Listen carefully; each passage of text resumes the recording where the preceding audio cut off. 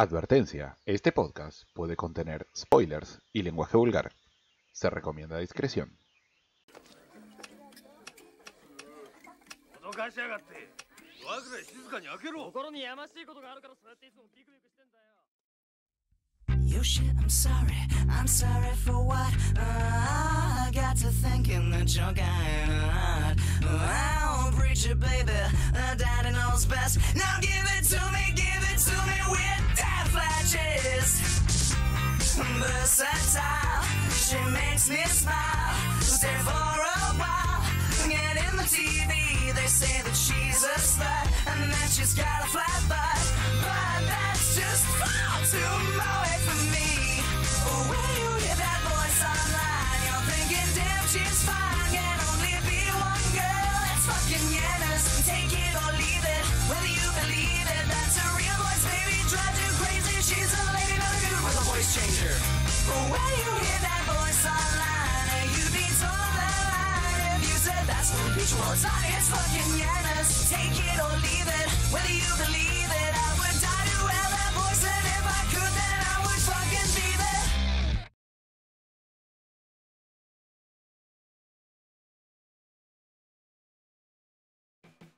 Bienvenidos a Dos Fractal, el podcast que te propone bajarte del tren del hype para repasar esos animes de los que ya nadie habla. Mi nombre es Demo y me encuentro como siempre en la inefable compañía de mis inseparables camaradas, el señor Uojo Buenas noches a todos.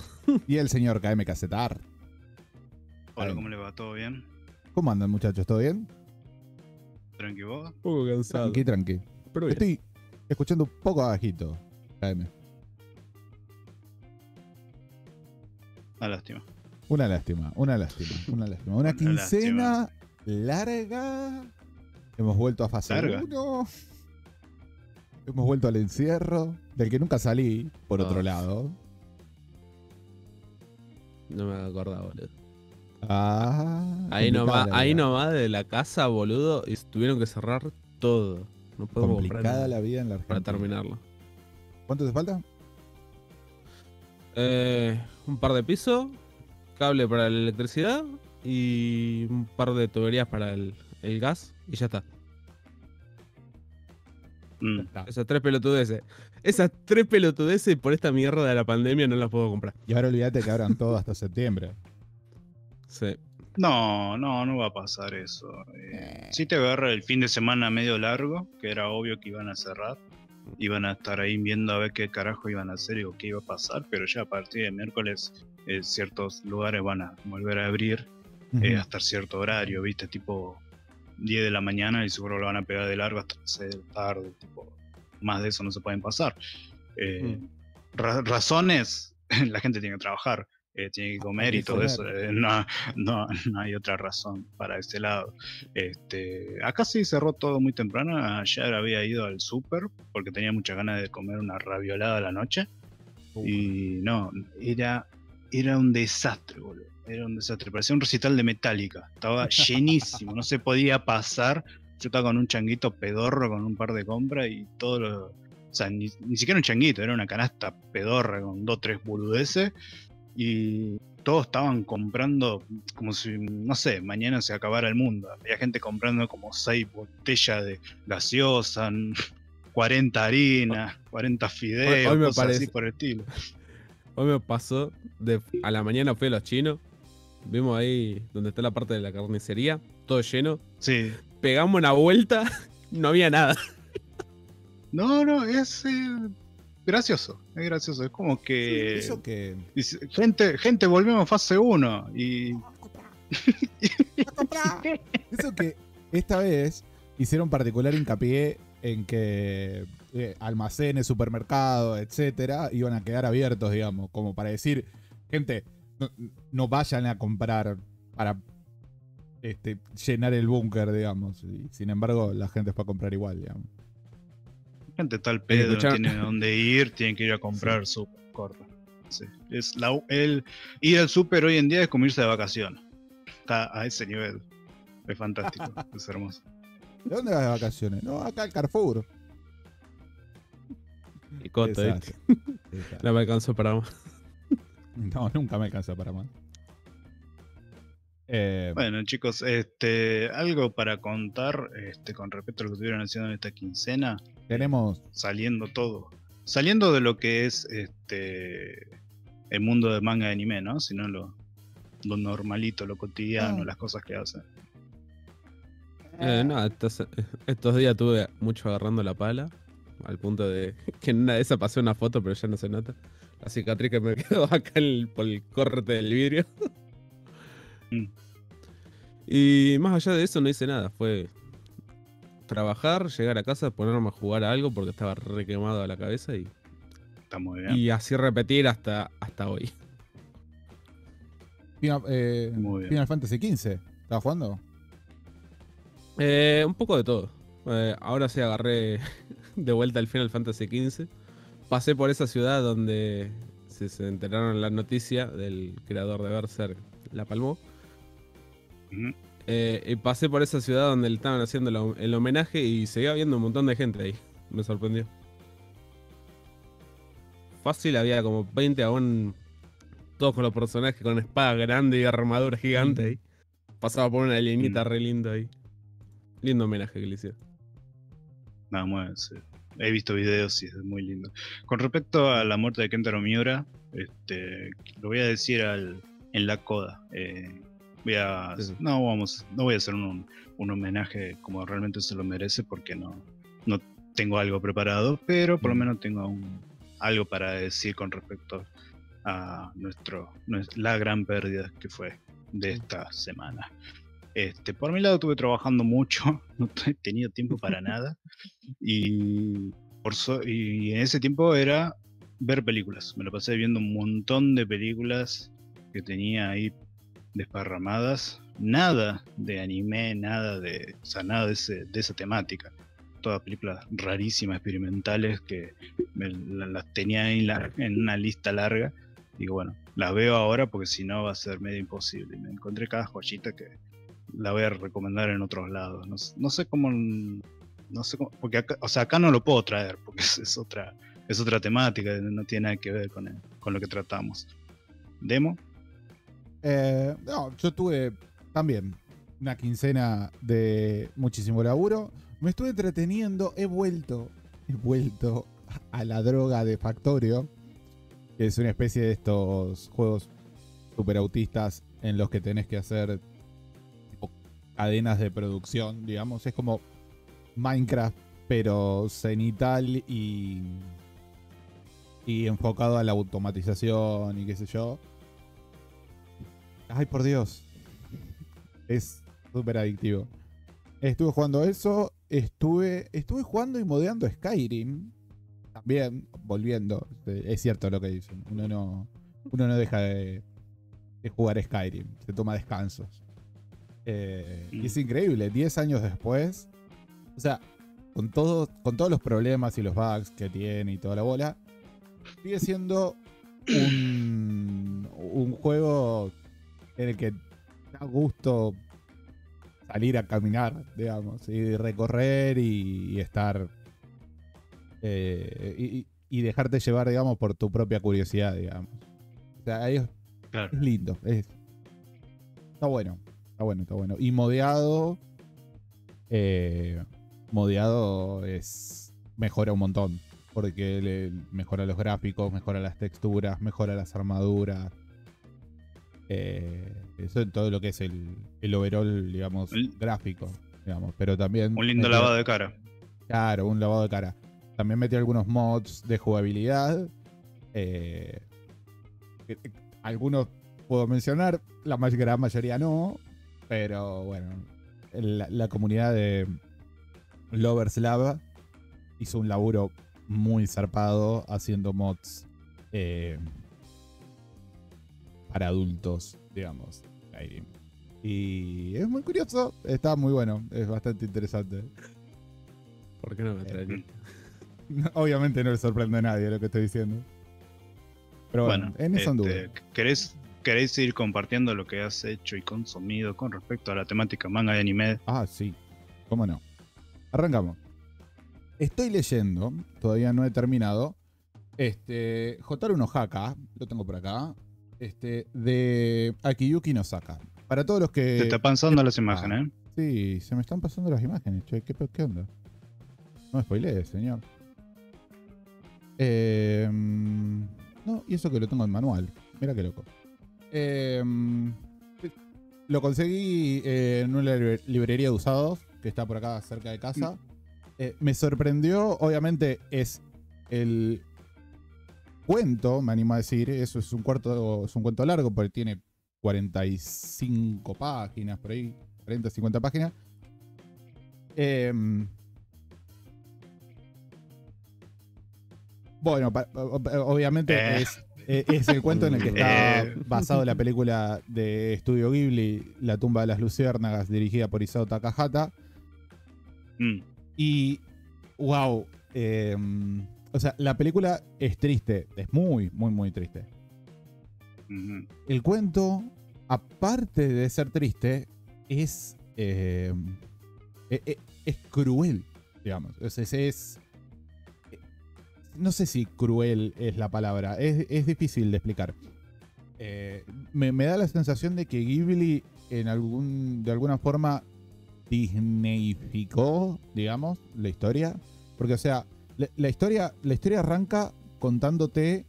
eh, como Seita está en, una estación cagado de hambre, tan cagado de hambre que no se puede mover y tiene diarrea y se caga encima y, intenta tapar y, y te cuenta cómo mancha el piso y lo intenta tapar arañándolo hasta ta- tratar de taparlo con la tierra que tiene alrededor y cómo tiene la ropa llena de piojos y cómo no sé, e- e- es mucho más o por lo menos hasta donde leí, lo siento mucho más eh, eh, explícito, Fuerte. digamos. Es, es- es como. Es fuerte. Es, es muy fuerte, muy fuerte. Es, es, es al estilo Hidashi no Gen. No sé si vieron esa película. Que es también, es una temática parecida a Jotaru no Haka, pero. Pero, pero es más. eh, es más, más explícito, más violento, digamos, visualmente. Bueno, el, cuento es así, es, más violento. Eh, y aparte, eh, son dos cuentos que se publican juntos. El segundo es eh, Algas Americanas. Si no me equivoco. Sí, Algas Americanas. Que no tengo ni puta idea de qué se trata. Pero sí, sí, tengo entendido de que va en la misma línea. Así que estoy muy. Tengo mucha, mucha curiosidad de, de ver qué onda. Eh, y probablemente si leo.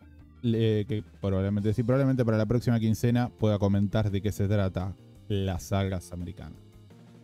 Eh, Bueno. Otra cosa que estuve viendo. No sé si quieren decir algo con respecto a esto. No, no. no, no, No. La verdad que no. No Bueno. mucho para agregar. Eh, el sí. cuento. Perdón. Ah, ok. El cuento, como dije, lo recontra recomiendo. Son 40, 50 páginas. eh, se lee rápido. O sea, es cortito. Lo puede leer cualquiera. Y seguro lo encuentran por internet. Qué sé yo. No hace falta que lo compren. Eh, lo otro que estuve viendo es eh, Manben. Manben es un programa de entrevistas a mangakas. eh, y, me gustó mucho, vi particularmente el de Junji Ito, y me gustó mucho, yo no lo había visto nunca, lo conocía de nombre, ¿no? Pero me gustó mucho el formato del programa. Eh, básicamente lo, lo grabaron a Junji Ito laburando en, si no me equivoco, son en tres páginas, ¿no es cierto? Y después Junji Ito se junta con Naoki Urasawa en, en un cat café te ponen a ver el video y lo van comentando entre ellos. Eh, y está bueno porque e- es, es una conversación entre dos mangakas sobre, sobre su forma de laburar, digamos. Eh, Sí, obvio. y yo, yo no leí nada de ¿Cómo Junji puede Ito. hacer linear así, pedazo de pelotudo? Bueno, pero se hacen comentarios de ese estilo. De, de- por, por ejemplo, decía, ah, mirá, dice, vos eh, sos muy lento, le dice Naoki Urasawa, por ejemplo. Sí, sí, le dice, "sí, sí, soy lentísimo, porque el tipo se toma 3, 4 horas para hacer un panel. Y le dice, no, sí, sí, sí, yo soy muy lento. Y, entonces se pone a, hablar y dice, bueno, capaz que. Porque yo siempre. Le dice, no, Kurosawa, le dice, no, porque yo siempre quise hacer terror, pero nunca me salió. Y yo soy mucho más rápido con, con la pluma para entintar. Entonces, capaz que eh, el tema está en que lo tengo que hacer más lento, qué sé yo. Y, no sé, es raro. Es, ver a, dos tipos, a dos grandes, ¿no? Porque por más de que yo no haya leído nada de Junji tengo entendido que el chabón es un grosso del horror.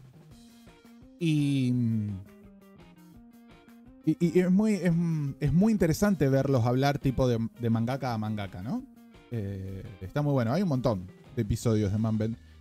Y ahora quiero ver más. Quiero ver más porque está muy, muy bueno. Es muy interesante. Lo recontra recomiendo.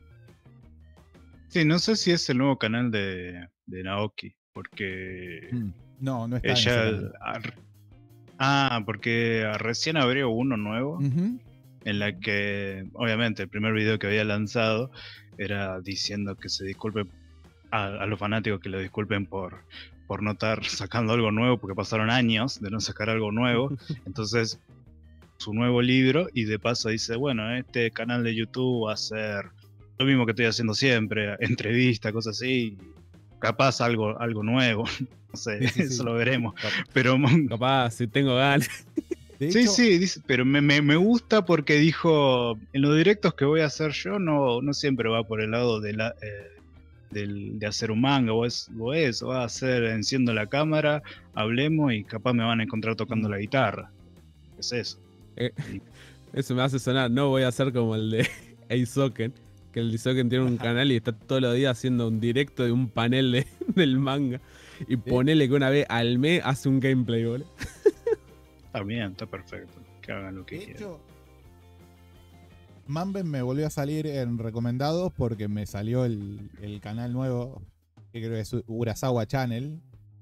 Eh, Sí, Y mm, ahí en, en recomend- eh, como recomendado me salió Manben y fue como, eh, che, esto puede andar. Sí, y sí. No, anda, re bien. Es, es fantástico. digamos. En La mayoría están subtitulados al inglés. Por lo menos todos los que vi yo están en inglés. Pero están muy Sí. bien. Están muy bien. sí, A sí. mí me está sorprendiendo mucho últimamente como un montón de artistas japoneses está empezando a sacar canales en YouTube. Porque no me acuerdo qui- quién era el- la otra, que era un- una famosa cantante que le escuchás en un montón de openings. No me acuerdo ahora mismo el nombre, perdón. Pero que también empezó a sacar un canal de YouTube. Pero no solo sacó el canal de YouTube en japonés, sino que también sacó una versión en inglés. Está subiendo dos videos en diferentes idiomas. Está perfecto. Es como que hay varios artistas en líneas generales, ¿no? Artistas japoneses que Mm. por lo menos te lo hacen en, en- te lo hacen tipo bilingüe, digamos. Y todos los obviamente hablan en japonés, pero se, se calientan en que los videos tengan subtítulos en inglés, por lo menos, y todo eso. Me- me Sí, sí, sí. Está bueno, está muy bueno. Sí, sí. más, más vista, más llegada a otro público. Sobre todo es lindo que ahora eh, artistas japoneses de, tan- de tanta edad, porque no son pendejos estos, Ah, este, puedan compartir conocimiento, experiencia, eh, hasta también sus mismos trabajos, porque es lindo saber eso. eh, es lo que hace falta tener esas clases de registro, porque, mira, yo para hacerla bien cortita, eh, yo que soy amante de, de la música, siempre estoy loco con los registros, anécdotas, libros, documentales hacia otros músicos o estrellas, productores y todo eso. Y hay un y hay lindo material, data, anécdotas y todo eso. Y, y en el manga anime son muy pocas veces que hay, ¿viste? Y, y hace falta eso, hace falta. Eh, es otra mirada hacia los autores, ¿no? Mm. Sí, no solo eso, sino que mm, me da la sensación a mí eh, que mm, mucha gente, como es tu caso, ¿no es cierto? Que se, dedica a, a- a- dibujar, puede, puede aprender mucho viéndolos laburar, digamos, porque es como, es como una especie de clase magistral, o sea, de repente estás viendo laburar a Junji no Kurosawa, por ejemplo. Y vos decís, wow, puedo ver, tipo, cómo, cómo carajo este flaco que me gusta tanto hace lo que hace. Y me parece que eso tiene mucho valor, digamos. Sí, sí, sí. Hay, en los pocos videos que he visto de él trabajando aprendí mucho. Sobre todo porque ya anterior tenía un canal, eh, un un canal no, un programa en la NHK que entrevistaba a otros mangakas y, y realmente, o sea, titanes, ¿ah? Gro- grosos, grosos. Y, y realmente mo- mostraba todo, los laburos, cómo hacían eh, diferent- diferentes técnicas dentro de lo tradi- tradicional, Ujú. cómo eh, podían hacer sangre, eh, fondos y todo eso. Y son, son muy lindos. A mí me gustaría profundizar mucho porque he visto poco, pero, pero es lindo, es lindo consumir eso porque es, como dije, eh, se te acerca más a los autores y, y vas y uno como es ilustrador eh, tiene otra visión, se acerca de otra manera, ¿viste? Sí, obvio. O- uno pu- puede ver cosas que yo, por ejemplo, que no tengo ni puta idea, no, no puedo ver. Para mí no deja de ser una curiosidad. Ah, no, son, claro, obviamente. Claro. Bueno, eh, vamos con lo siguiente. Bueno, yo por mi lado, estu- eh, la semana pasada, este, Ibrea sacó la, implaca- la implacable invasión mongola. Ahí me faltó la disculpen. Este, realmente es un manga muy bueno. Este, es de Shintaro Kago, que es un autor que ya viene haciendo ilustraciones medias raras donde pone colegialas con, con un montón sobrecargadas donde se le abre la cabeza, le salen trenes, relojes, ojos, manos y así. Es un arte muy art de, de Japón, muy característico, ¿no? Y la verdad que tenía muchas ganas de, de ver algo impreso en e- de él por estos lados. Y bueno, Ibrea publicó esto. Realmente me da mucha gracia porque gente que lo leyó no le gustó nada. lo compró en la fecha de lanzamiento y no le gustó un carajo. Y yo la pasé muy bien leyéndolo por muchos motivos de que ya de por sí a mí me encanta eh, Suihiro Maruo, que es un autor del Erogo- el Eroguro, y siempre juega con, y siempre tiene mucho humor en sus mangas. Y este está llenísimo.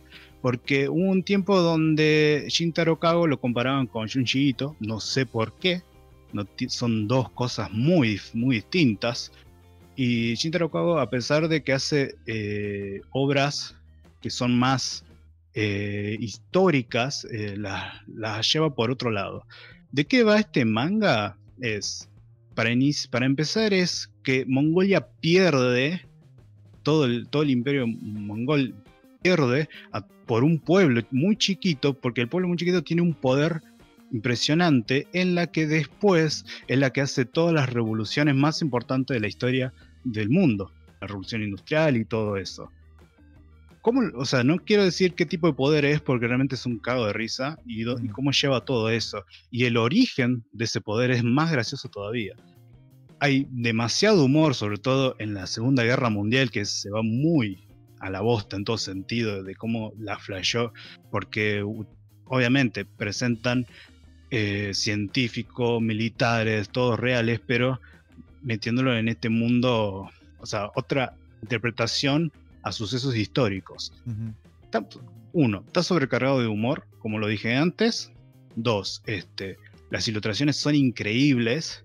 Y tres, que esto va a sonar más adver- advertencia, es si son personas que lo grotesco, lo asqueroso, no es para ustedes, no lo lean. Ahora, si a ustedes les gusta los cines de clase B o Z, o sea, bien a lo grotesco, o sea, si se cagan de risa de ese lado, este, la van a disfrutar muchísimo. O sea, hay, hay cada cosa que usted. Yo lo, lo estaba leyendo y sin pudor en el tren.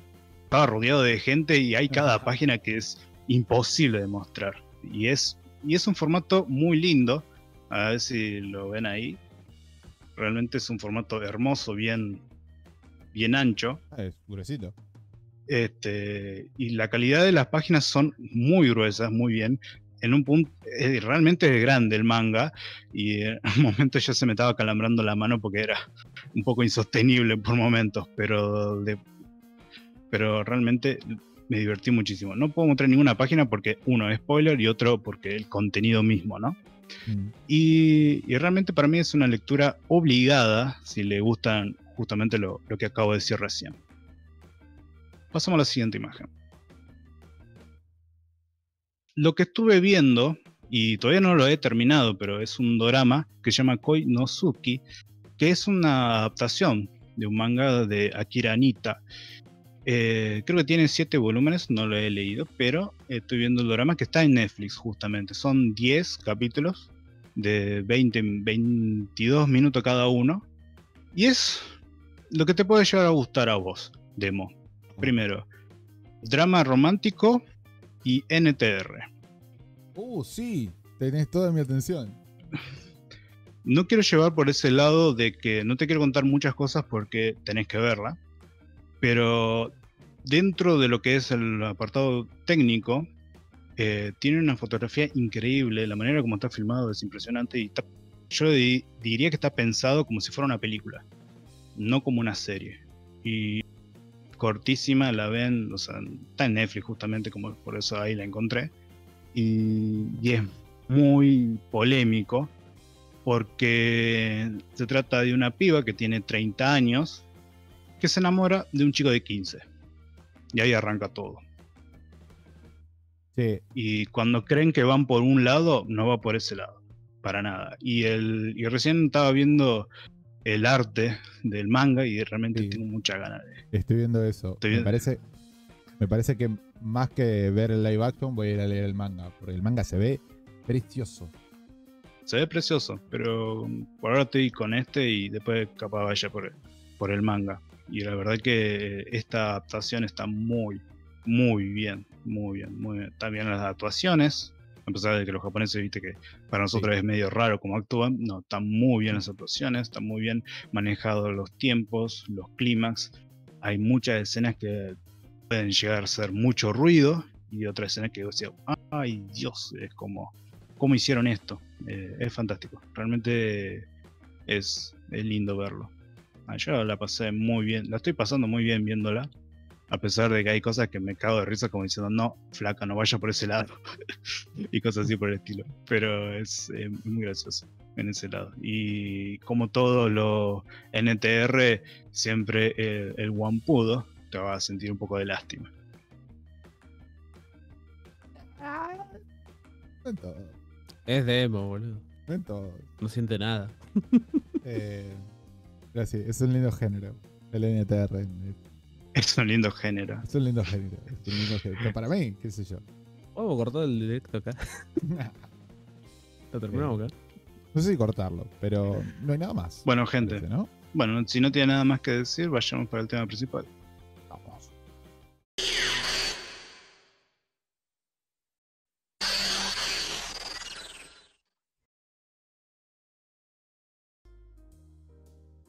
Bueno, muy bien, ya estamos en el tema principal y hoy toca hablar de la serie Horou Musuko o en otro lado que lo llaman como el niño prodigio o el niño errante, porque tiene esas dos tipos, tiene esas dos eh, traducciones según lo que lo que he buscado. Realmente es una serie que elegí yo, 12 capítulos y es muy linda, así que señor, vamos, vamos con la técnica.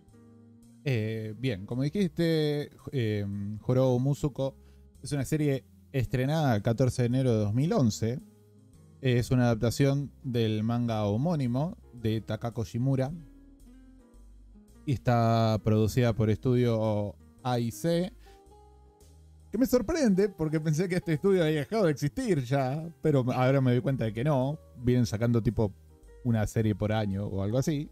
Eh, estudio que estuvo a cargo de un montón de series en, en los 80 y en los 90. Eh, Mm. Algunas de las más nuevas, para que se hagan una idea, son A Megami-sama.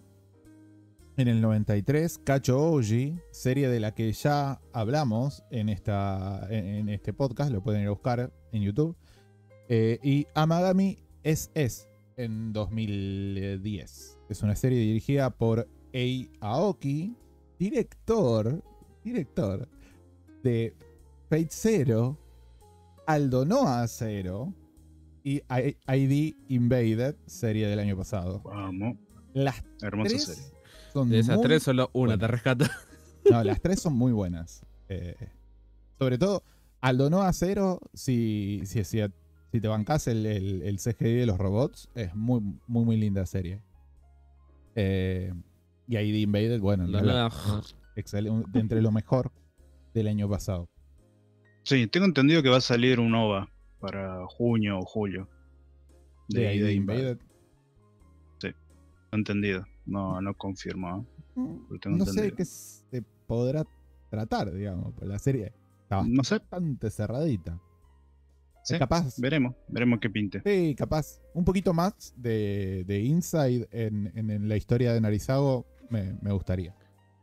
Eh, la composición estuvo a cargo de la inefable Mario Kada, eh, autora de cuanto dramón se te pueda venir a la cabeza. Por ejemplo, Hanasaku Hiroha en 2011. Ya lo dije una vez. Mario Kada te da una tarjeta que dice: Si no hay pibe muerto, no es mi serie. Claro. Es una, es una mina que hay mucha gente que la odia. A mí me hace llorar siempre. Me, me gusta mucho lo que hace. Como dije, eh, hizo la composición de Hanasaku Hiroha en 2011. ¿A qué te referís con composición? La compos- en realidad, la composición es como el. mm, ah, puta. Eh, Es como que Como hace. puta. el- Ah, O sea, labura en los guiones y en el. mm, En, en el armado o en la sensación final de la serie. En, mucho- en, muchos, en muchos lados laburó como guionista directamente. Por ejemplo, en Anohana no, no hizo. no está acreditada como eh, Series Composition, sino que está acreditada como scripts. Eh, eh, script, digamos. Hizo lo- el script de toda la serie, digamos. Es como la persona, te lo averiguo bien para la casa que viene, pero e- es como la persona que se encarga de, adaptar el contenido original y darle el como la, sensación completa a la serie. el- como que la arma, digamos. Una cosa así. Sí, yo tenía entendido que esa era la planificación. En realidad, hasta donde yo tengo entendido, planificación es más. eh, no, no es, no es artístico, sino que es más administrativo, digamos, de- del proyecto. O sea, Está muy bien. el- Está muy es, bien. como, es como el manager. Sí, es el manager, digamos. El tipo que se encarga de decir, bueno, para tal fecha tenemos que tener tantas cosas terminadas eh, y ese tipo de cosas. Eh, Sí, ma- bueno, mayormente la- los que hacen la composición de serie es para decirte, bueno, mira, acá eh, de este capítulo a este capítulo creo que sea un dramón y tratan de hacer, eh, intentan coordinar con el coso, con el director y el Mm. guionista para ver cómo es que le pueden dar el, el drama a ciertas escenas. bueno, más por un tema de, de elegir eh, qué es lo que ne- necesariamente necesitan de elegir en cada escena. Pyro, que eh, estudió estas cosas, eh, dice que cuando la producción no tiene un director que se la banque mucho, llaman a un compositor. Lo cual, no sé si estoy seguro, de que- pero puede ser, puede ser, digamos. Eh, el, el compositor es, eh, es una figura importante dentro del staff de producción. Mm. Pero bueno, Bien. aparte de Hanasaku Hiroha y mm, Anohana, hizo, eh, laburó también en Kisniver en 2016, serie que no me canso de recomendar. Eh, ah, y una notita acá que no lo puse acá, pero mm, em, su manga, el, primer manga original, no sé si es el primer manga original que hizo, pero es, el primer manga de ella que recibe una adaptación al anime, es eh, O Maidens in their Sabbath Season, eh, que era, no me acuerdo cómo se llamaba, ay Dios, ¿cómo se me fue el nombre de esta serie? Por Dios. Perdón, esto es... Mm. eh, La próxima anótatelo. de Edu. Em, Araburu Kisetsu no Tome Domo Yo. Una, de- una serie que estuvo entre lo mejor del 2019. Es muy, muy buena serie. Comedia romántica sobre adolescentes eh, entrando a la pubertad. Es muy cómica. Muy, muy, muy cómica. Eh, Sí, sigo. algo, algo, muy, algo muy hermoso que hasta el punto que te olvidaste. Sí, sí, sí, sí. sí. No, o Maidens. Me acordaba el nombre en inglés, no me acordaba el nombre en japonés. Eh, Ah, bueno. El diseño de personajes estuvo a cargo de Ryuichi Makino, el diseñador de personajes para Battle Programmer Shirase, serie de la que también hablamos en este podcast, Girls Bravo en 2004 y Recreators en 2017. La música, y cuando leí esto me cerraron un montón de cosas, La música estuvo a cargo de Satoru Kosaki. Satoru Kosaki es el compositor principal de todas las Monogatari. Menos Katana Monogatari, que no tiene nada que ver, pero de Bakemonogatari para adelante es el compositor de toda la música de la serie Monogatari. Es el compositor de la música de Oreimo y es el compositor de la música de Beastars también. Vistar, Haruji, la serie que está viendo ahora Uojo, Bibi. Sí, la de Vivi. Eh, es un tipo que yo por lo menos... Acá me no se gusta- lució mucho. ¿eh? No, no, a mí me gustó, a mí me gustó. Eh, No, no se lució mucho. ¿eh? Había Te digo muchos la verdad, no temas. se lució mucho. yo cuando le iba viendo decía, esto me suena muy monogataresco. Y tal cual, tal cual. Eh, por último y para cerrar, eh, el opening es Itsudate de Daisuke y el ending es For You por Rie I wanna cry for you. Qué hermoso, qué hermoso, Lindos temas. hermoso. Y con eso concluimos la técnica del día de hoy. Muy bien, gente. Primeras impresiones con respecto a esta serie. Dale, ¿Quién quiere empezar? Tú puedes. Mucho blanco. Tú sabes que. Voy por lo re básico. Aún, aún no la quiero destrozar. Tú sabes que cuando le iba viendo, en cada pausa dramática, pensaba, uh, acá lo puedo escuchar putear a Ubojo. Pues di un montón de pausas dramáticas y yo dije, Ubojo, esto. ¿Sabes que la odiar". pausa no fue lo que más me molestó? Ah, ¿no? No. Pero me molestó mucho los personajes. Es- son personajes particulares. Sí, sí, sí. A mí. Sí. No, A eh, ver. Eso y, y como ya dije, los manchones blancos. Porque veías ahí lo- los, los marcos cada vez siéndose más blancos. eh, a mí eh, me gustó. Pensé que me iba a gustar más. eh, pero me gustó. Me gustó mucho. Pero pe- pensé que me iba a gustar más. Y que el final iba a ser tipo más emocional. Y que yo iba a llorar mucho. Y no. no, no, la verdad que no, no. no- No he llorado. Sí me he emocionado mucho. Porque es una serie súper emocional. Pero no, no, no. No he llorado. Me sorprendió. Mira vos. Ah, por mis Sí. primeras impresiones con respecto a esta serie es. eh, de por sí ya la tenía bastante ganas de verla.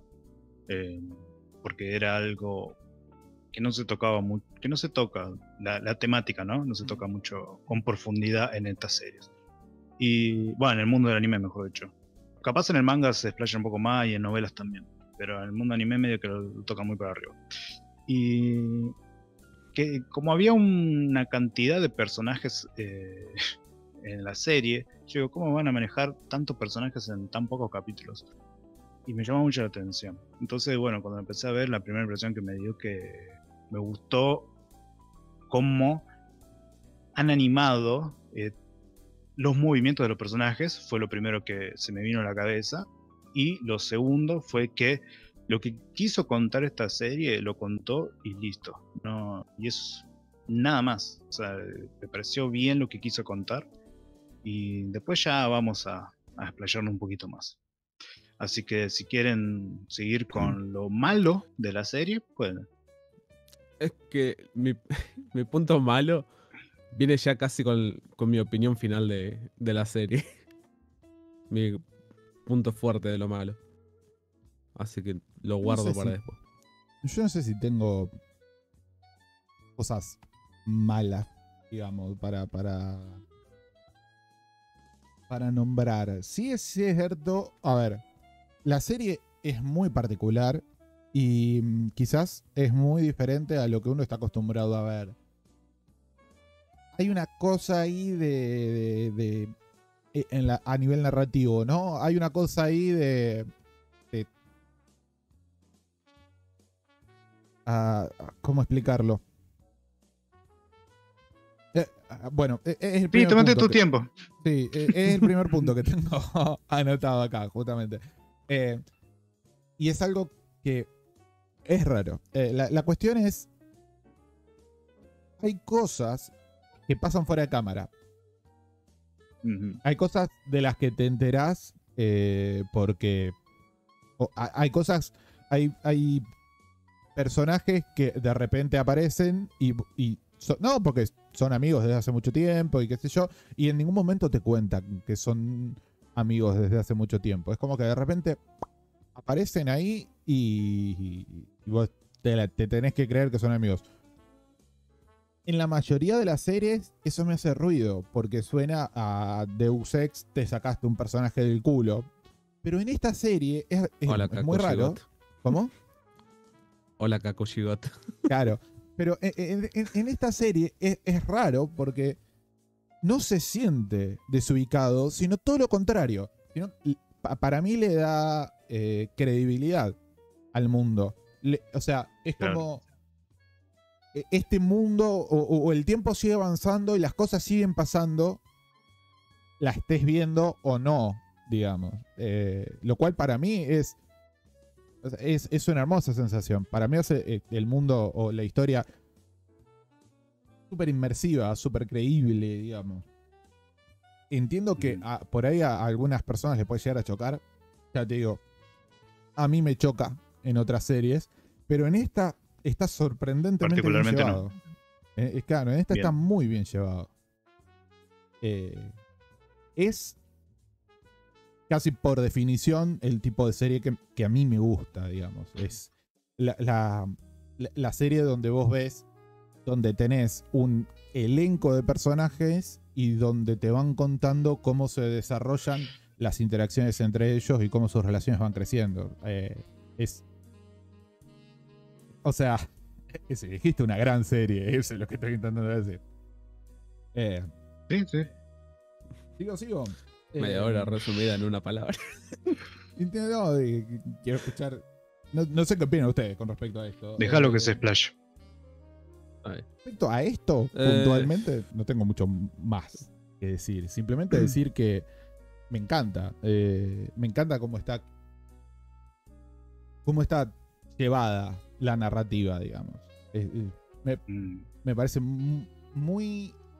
Me parece diferente e, e interesante, digamos. Me gustaría ver más series así, digamos. Aunque es cierto que por ahí. No, en realidad no.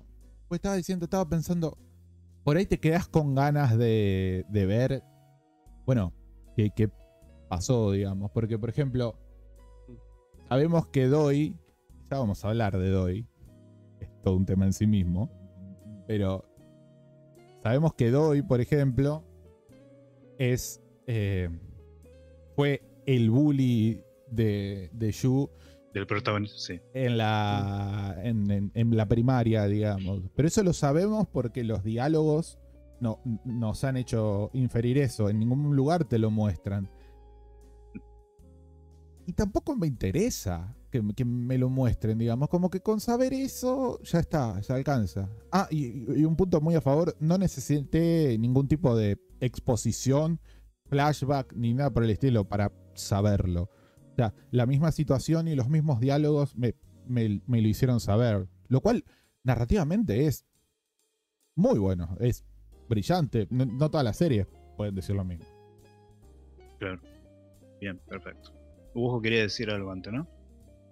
Sí, no, es que me gustó mucho la historia por parte de.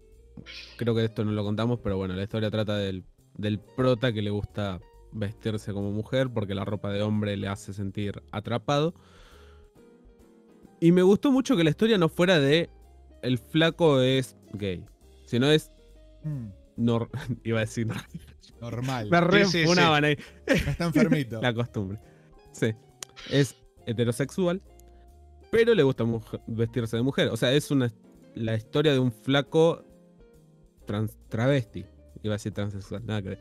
Travesti. No, transgénero. Cosa transgénero. No, ni siquiera. Travesti, parece. Es travesti, porque le gusta vestirse de mujer. Bueno, Pero, ah, y me gusta mucho que la historia no sea de por el lado ya hoy, sino que vaya por un lado que normalmente en historias no lo ves. Mm.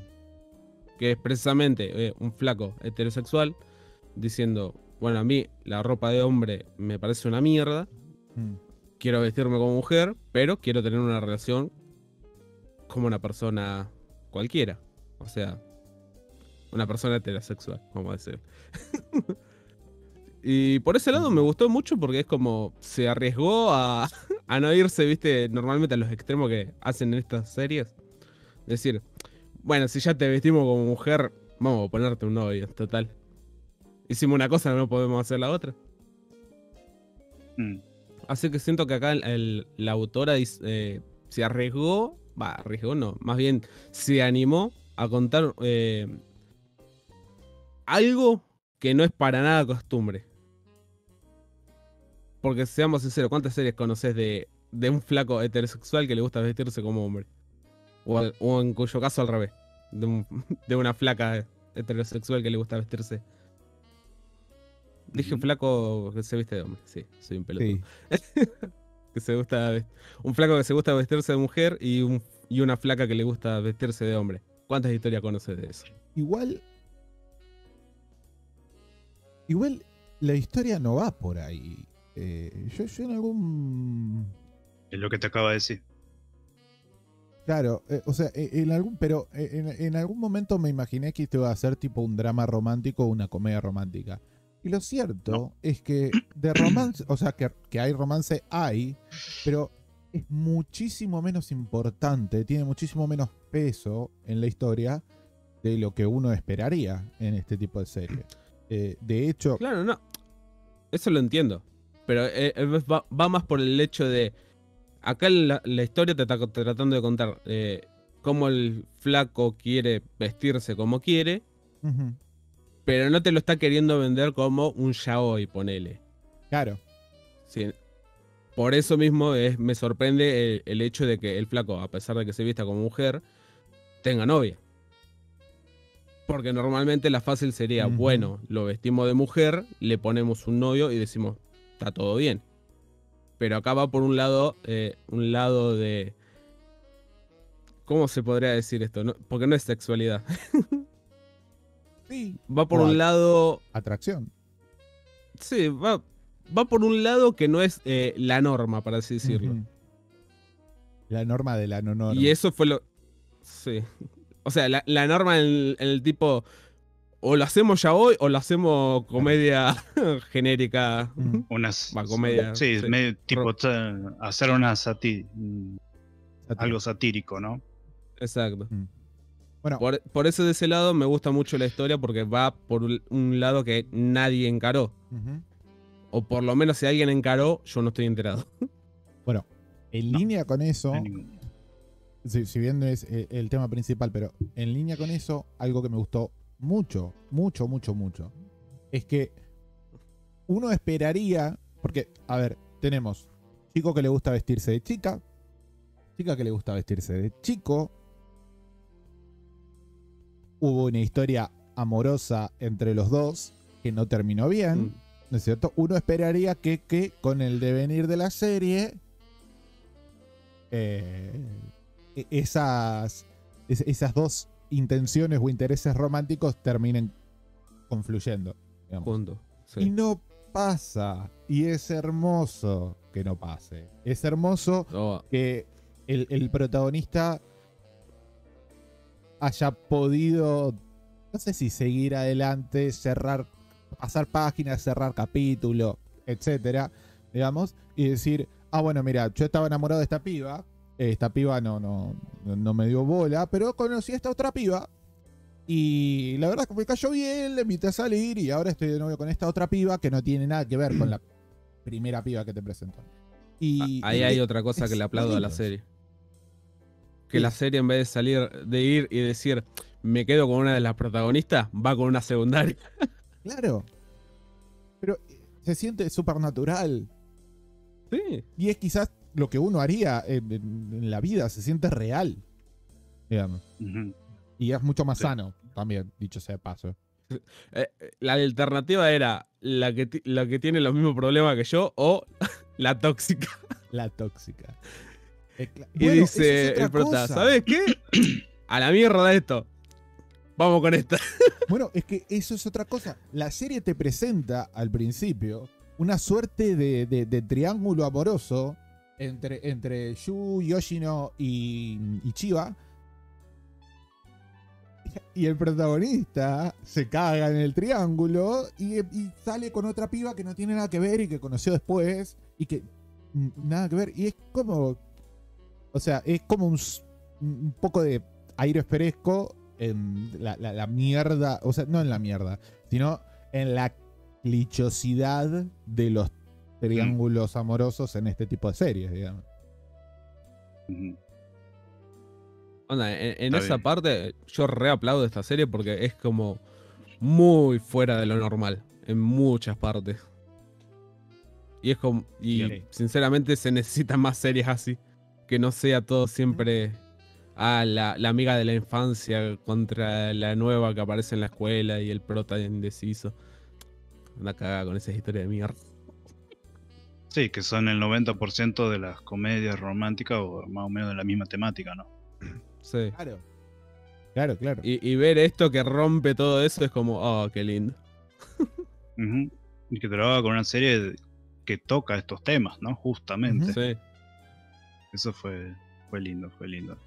Este, bueno, eh, como habían dicho, son, es un trío porque te presentan los tres personajes principales, que son Yu Nitori, este, Takaski y Chiba y Chiba Saori. O sea, y Chiba Saori es un personaje que es sorprendente porque yo mientras estaba, o sea, cuando había terminado la serie, me quedé con muchas ganas de saber más, entonces me puse a leer el manga. Y es loco que el manga tenga como 14 tomos y el anime tenga 11. Es, o sea, y mi- 11 yo llegaba a un punto de que hasta dónde iban a llegar, cómo iban a adaptar esto, ¿no? O sea, ya después de haber visto, ¿no? O sea, cómo lo hicieron. Y, y es, y es loco porque Chiva en el manga eh, es otra cosa, no es para nada tóxica. Sí tiene eh, los arranques que tiene en la serie, pero afuera de eso. Eh, bueno, obviamente que durante toda la serie vemos eh, ese conflicto interno que tiene de "Ah, me gustaría vestirme como una, como una chica, me gustaría, porque realmente tiene eh, esa, es- el- los sentimientos, se acerca más o menos a esas sensaciones y todo lo que lo complementa, pero más allá es un conflicto interno lo que te muestra una y otra vez, a pesar de todos los capítulos. Este, Takaski, que también lo mismo que le está pasando a Nitori, pero solamente quiere vestirse de hombre, usar ropa de chicos y todo eso. Y la serie también te muestra conflictos muy común en la adolescencia misma. O sea, los cambios de, eh, de voz, el, momento de que ellos crecen, como una mujer se le crece los senos o el periodo mismo, este, lo tocan y no lo tocan como si fuera un chiste, sino algo que te va a pasar en la vida y tenés que acostumbrarte. Y vos ves como Takaski este, cada rato siente eh, odio a su cuerpo, cada vez le da mucha bronca porque tiene que usar corpiño, porque tiene, le- o sea, tiene que lidiar con la menstruación y todo eso. Y me pareció muy respetable cómo lo utilizaron, cómo pus- pusieron toda la escena. Hay, en la escena que la profesora le dicen, vos tenés a partir de mañana tenés que empezar a usar eh, corpiño, porque está creciendo el busto. Y a ella se le rompe el mundo. Y es algo muy fuerte para una persona con esos conflictos que le digan eso. Y a mí me pareció muy bien hecho. Y fue- era un dilema de, de ella, no de todo el capítulo, sino del personaje en, en un solo capítulo. Creo que fue el capítulo 3, me parece, que fue todo un delirio. Y justamente el final de ese capítulo es que los pendejos este, estaban, obviamente, siendo adolescentes, están con las hormonas al palo, ¿viste? Y están todo el día masturbándose. Dicen, ah, mira, están empezando a usar sostén, ¿viste? Como, Mm.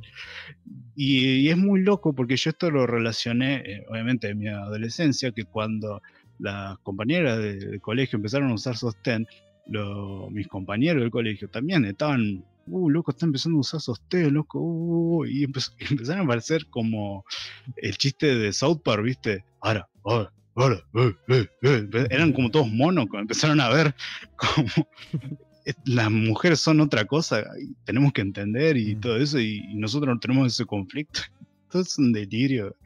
Y eso me dio mucha gracia. ¿Cómo están hechos los personajes principales que me parece fantástico en el sentido de que yo en un punto me he enganchado y me, ha encantado la serie, al punto de que tenía muchas ganas de pertenecer un- en un grupo así.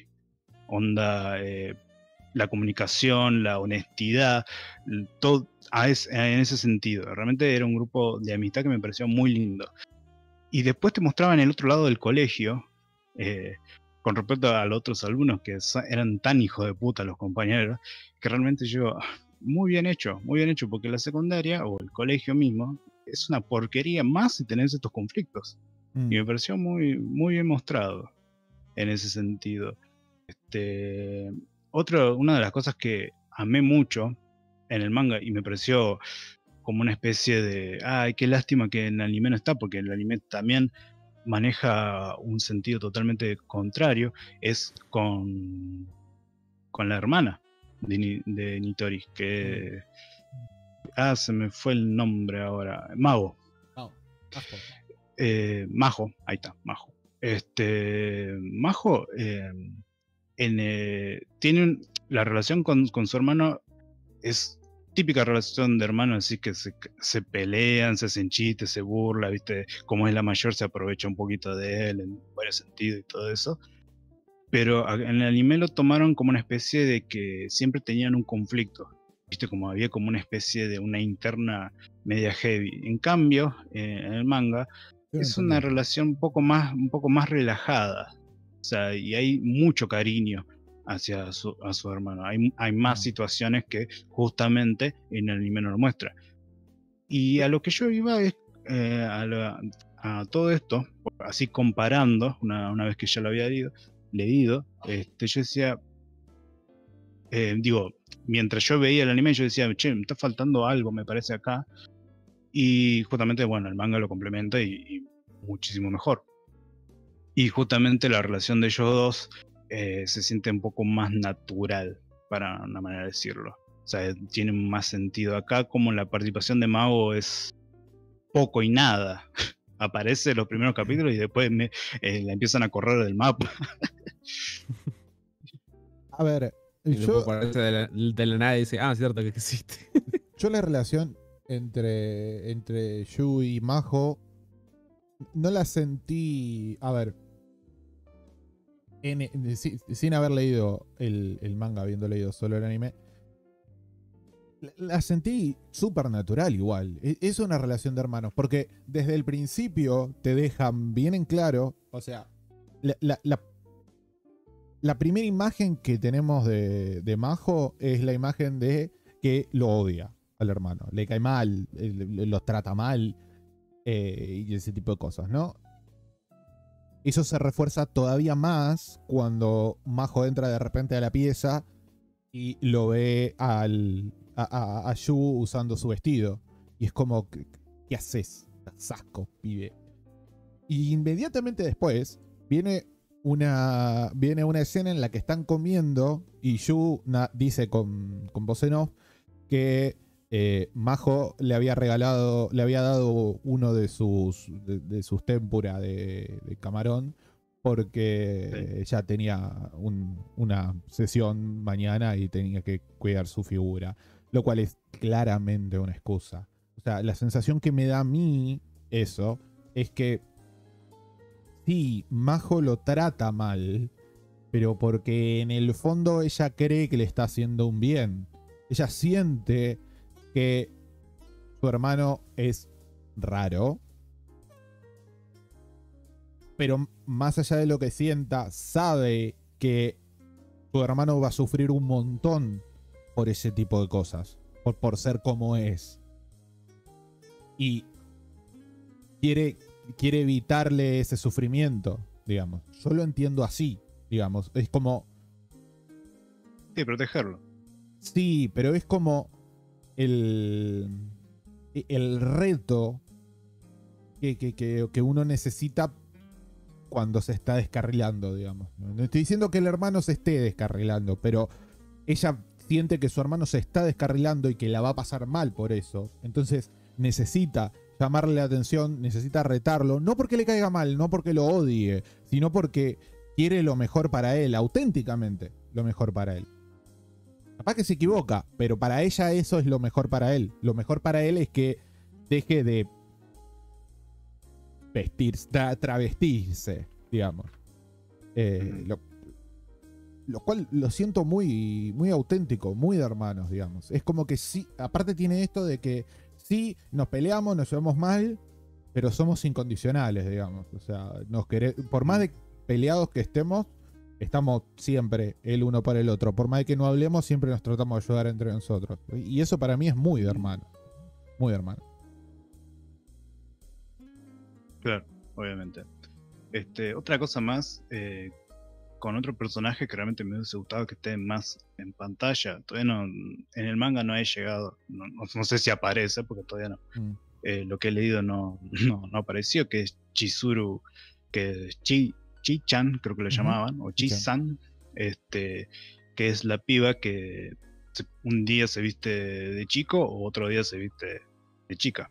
Y, y es una persona que me, me encantó. Es insoportable en todo sentido, porque es redensa la mina, pero. eh, Y tiene una, tiene una energía como, no sé. vo- vomita speed la mina, o sea, es increíble. este, pero. es- la tengo. sí, sí, pero tiene una energía que. Pero realmente me gustó que haya un personaje así, porque hay una escena donde. Después de, de- de que Nitori, entre muchos conflictos, decide vestirse de, de mujer e ir al colegio, eso fue un. Realmente fue lo peor que le pudo haber pasado, en el sentido de que en, no todos lo van a tomar de la misma manera. y me gustó una escena de ella que empezaron a, a decir, ahí llegó el maricón, cuando Sí. apenas entra el tipo, y la mina dice, ¿quién dijo eso? ¿Eh? ¿Cuál es el problema? ¿Qué te pasó? Y, y, y después decía, encanta. nada, ella está en el grupo de locos y cosas así. Y, y en una parte, su amiga que la tenía como una etiqueta tatuada, la amiga de, de Mm. Chisan, creo que se llamaba Momo, me parece que se llamaba, que le dice, no, ya puedes eh, dejar de juntarte con él porque ya es raro. Pero si yo soy rara, le dice. Sí, yo gané el primer bien. campeonato de raros en mi colegio. Me encanta, me encanta porque Momo le dice algo así como vos sos rara bien, él es raro mal, digamos. Sí, que, que sí. él es mal raro. Eh, es muy cómico. Como- no, no es muy cómico, pero e- es muy interesante cómo reaccionan la- le- las diferentes personas. Esto es otra de las cosas que tenía anotadas porque quería hablar. Es muy interesante cómo reaccionan las diferentes personas en ese momento, en el momento en el que Nitori va vestido de chica a, a la escuela. Es fantástico. Hay muchas cosas para, para desenvolver ahí. Por un lado, esta cosa de la sociedad donde, bueno, si, si, si una piba quiere venir vestida de chico, está todo bien. Ahora, si un chico quiere venir vestido de chica, es un degenerado. Claramente, claramente. Sí.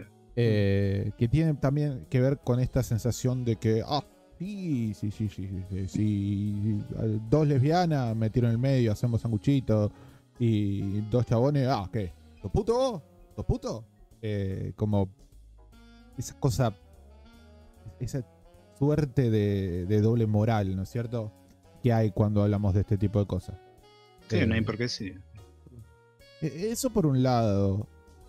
Y por otro lado, algo que quería traer con respecto a esto es que en muchos casos en la vida la ayuda viene no solo solapada, sino de- del lugar el- del que uno menos lo espera, digamos. Cuando Nitori va por primera vez, cuando, cuando Nitori va vestido de piba a la escuela, eh, Ana lo deja porque en sus palabras no se, se- le dio miedo y no, no- no lo pudo aguantar, Sí, sí, sí. no lo pudo soportar, cuando en realidad lo que uno esperaría de una pareja es que cuando tenés Que un banque. quilombo te banque y te acompañe. Hay, hay una cosa que quiero decir con respecto a eso, me la guardo para después, me acordar. Eh, con respecto a la, a- a la relación de Ana y, y Nitori. Eh, y por otro lado, eh, de repente te encontrás con que Seiya, el novio de Majo, es una especie de. de- de- eh, eh, está como desde las sombras tratando de. De que en la escuela, en el segundo fe- festival cultural, eh, ellos hacen el, el, maid café de hombres, digamos. Eh, Es una escuela muy rara. Eh, hacen el, el, el maid café de hombres vestidos de maid. Y es como que lo propone él y él como que arenga la idea. En parte para que toda la escuela naturalice un poco y, y lo dejen de bulinear tanto a Nitori. ¿No es cierto? Y es- Y está muy bien, porque uno no, no, no, se, no se lo esperaría, digamos, de, de Seiya. Y de repente Seiya, que es un personaje ni siquiera, ni siquiera secundario, es súper terciario, digamos. Es el novio de la hermana. Claro. Y, y el flaco de repente está tipo ahí tratando de, de darle una mano a, a Nitori porque entiende que es importante para, para, para su hermana. Eh, ¿Qué sé yo? Eso me gusta mucho. Sí. Me Sí, un acto mucho. muy lindo hizo Ujú. de, de detrás. Y es muy loco porque cuando Seiya se, se viste de, de maid, este, en las minas, las compañeras y todo eso, le sacan foto y Majo celosa también le saca una foto. No, pero aparte, Me dio mucha gracia. No. Aparte es muy cómico porque le sacan una foto y dicen enviando a Majo. Y es como, ¿qué? ¿Eh? Pero. Y el, y el novio le dice, che, si, si- si quería una foto me lo hubiese pedido. Es muy cómico. Es. Y es. e- me da- y me acuerdo que el diálogo fue. Listo, le saqué una foto por, por Majo. Y Majo le dice: Si te hubiera preguntado si me dejaba sacar una foto, seguro que me decías que no. Y cuando se distrae el otro, le saca una foto. Sí. Eh, esto me da para hablar del, del puntito ese que tenía ahí de la relación entre, entre Majo y Nitori. Eh, eh, en un momento ellos tienen un diálogo en el que se sinceran. Me parece que es al final de la serie donde. Sí. Donde Ana le dice: Bueno, mirá, eh, la verdad es que vos sos mi primer novio y no, no, no entiendo bien qué, qué, qué significa ser novios, qué hacen los novios, no, no sé, no supe cómo manejarlo, medio miedo. Y ese tipo, e- esas cosas, si, si ustedes recuerdan, no sé si a ustedes les habrá pasado, a mí claramente sí. Y es que cuando yo tuve mi primera novia allá hace tiempo, y a, eh, a lo largo, digamos, eh, me acuerdo, o sea, eso me, trajo esas sensaciones, digamos. Es- e- e- el hecho de decir, che, ¿querés ser mi novia? Y ella me dice, sí. Y después es como, ok, ¿y, y- qué hacen los novios, digamos? Hasta, ¿Qué tengo que hacer? ¿Qué no? ¿Hasta qué, qué, debería hacer? Eh, como no sé, es raro, o sea, es, es algo que cuando uno, cuando uno es chico no, no sabe, porque na- nadie te explica estas cosas. digamos. Y- Me lo y reimaginé. Esta relación no puede continuar. Sos lolicón y no sé cómo maricar. Ella, ella era más chica que yo. Un año más chica. Tampoco es que yo tenía 13, ella tenía 12. Uy. Eso Perdón. explica un montón de cosas. Eh, y, y- eso me pareció tipo súper... mm, También, eh, es muy... Está muy bien escrito, está muy bien llevado. O sea, me pareció súper... eh, auténtico es la palabra, me parece. Me parece que la, la relación entre Nitori y Ana es muy, muy real, muy auténtica. Pese a que Sí, porque ustedes ya lo habían dicho antes. O No sea, uno punto. puede, uno como ve esta clase de ficciones, uno espera que llegue a, a tal puerto, ¿no? Es como que, Mm. bueno, me, me mostrás todas estas situaciones, los conflictos internos y todo esto, pero uno dice, bueno, pero va a llegar a este puerto porque la ficción y la gente lo puede llegar a pedir Claro. internamente. Pero no, o sea, lo que te muestra es un pantallazo de lo que realmente puede llegar a pasar. O sea, la reacción en el momento de que Nitori va al colegio vestido como, como chica, este, lo llaman, lo llama a la dirección, lo ponen en, el, en la enfermería, le están las clases ahí, este, porque se lo burlan a todos los compañeros, este, porque puede distraer, porque puede llamar mucho la atención, o sea, todo eso, ¿no? Todo lo que conlleva. Y realmente me, me pareció bien que lo hayan manejado eso porque te muestra los pro y los contra, porque él estaba confiado de que al vestirse de esa manera y mostrárselo a sus allegados, este, hasta al bully, este, si, lo, lo- si lo pudo aprobar su bully, todo el mundo lo puede llegar a aprobar, ¿no? Como una especie, de- se, cre- se, cre- se creyó eso, ¿no? Y realmente no funciona así. O sea, está como vos le dijiste antes, Demo. Este, para las pibas es un poco más sencillo vestir eh, ropa masculina, pero para un flaco todavía es hace ruido, ¿no? Es como que más allá de, de las burlas y los insultos que puede llegar a toparse, también es como eh, no, no, no perteneces acá y me parece que estás un poco Es desubicado. raro. Es raro. Y, también, pero es como. Y es como que es. No, para mí no es el lugar. Ese es el tema. Más allá de que las minas se visten como hombres, como ellas quieren hacerlo, para mí no es el lugar.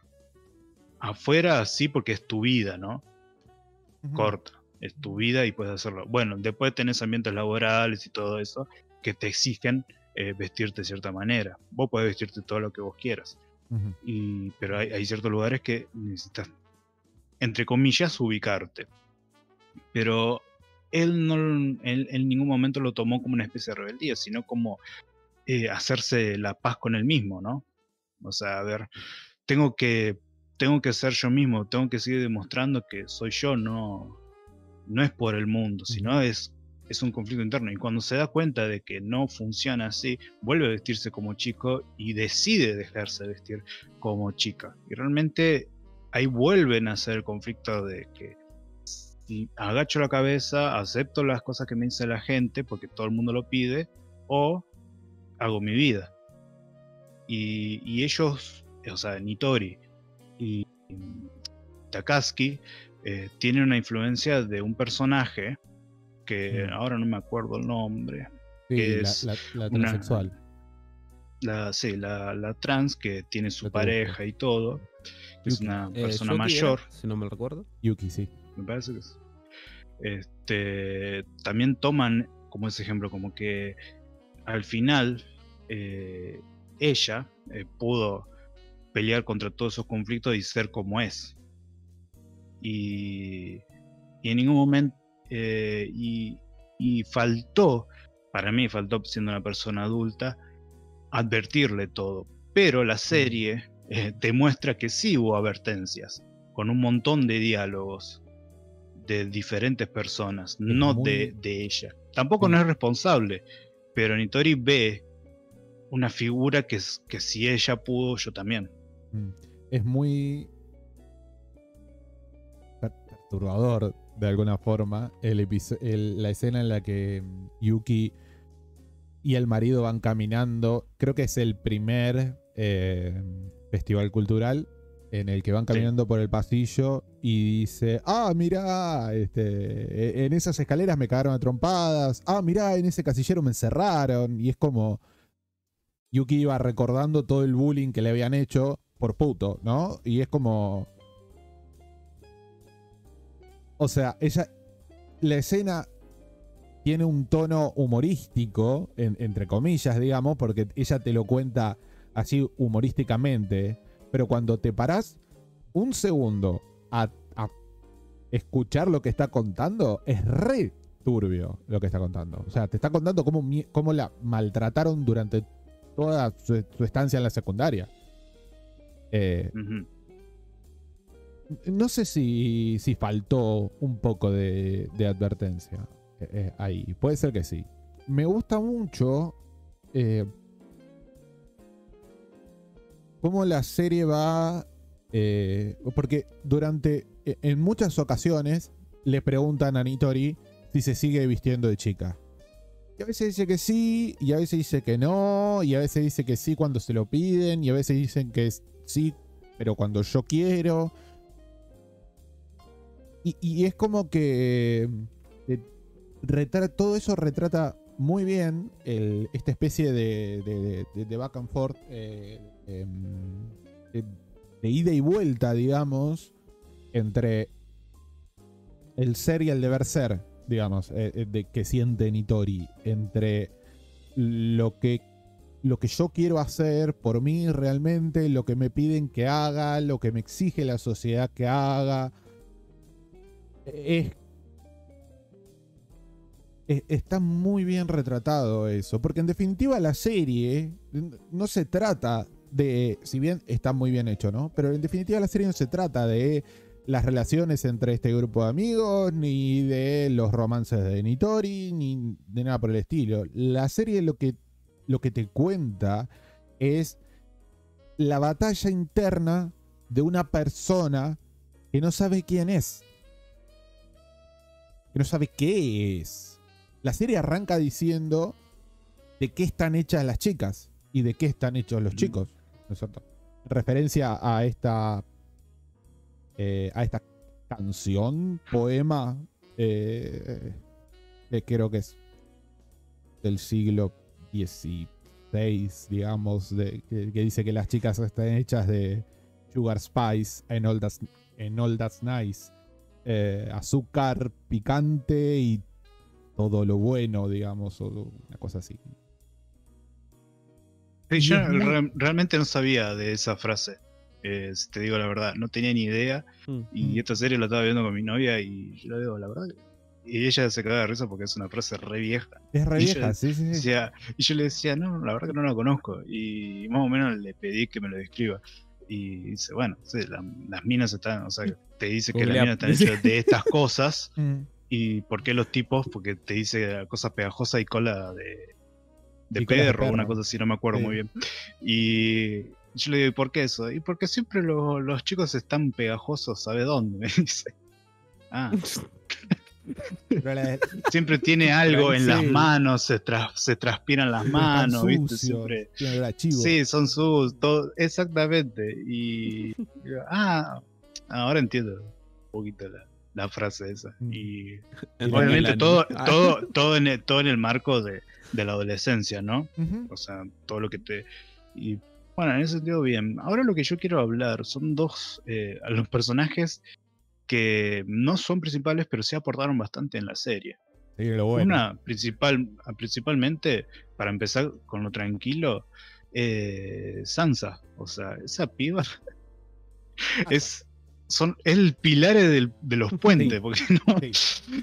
pero es una mina se bancó todo, pobrecita. Encima vos la ves y es una mina muy, muy enérgica, re inocente, todo, y, y tiene que lidiar con todos, todos los conflictos de, de sus compañeros. No, e- Es un personaje que si lo pones en un shonen y tiene que usar el poder de la amistad, destruyó todo el mal, pero en Está segundo. Sí, sí, sí, sí.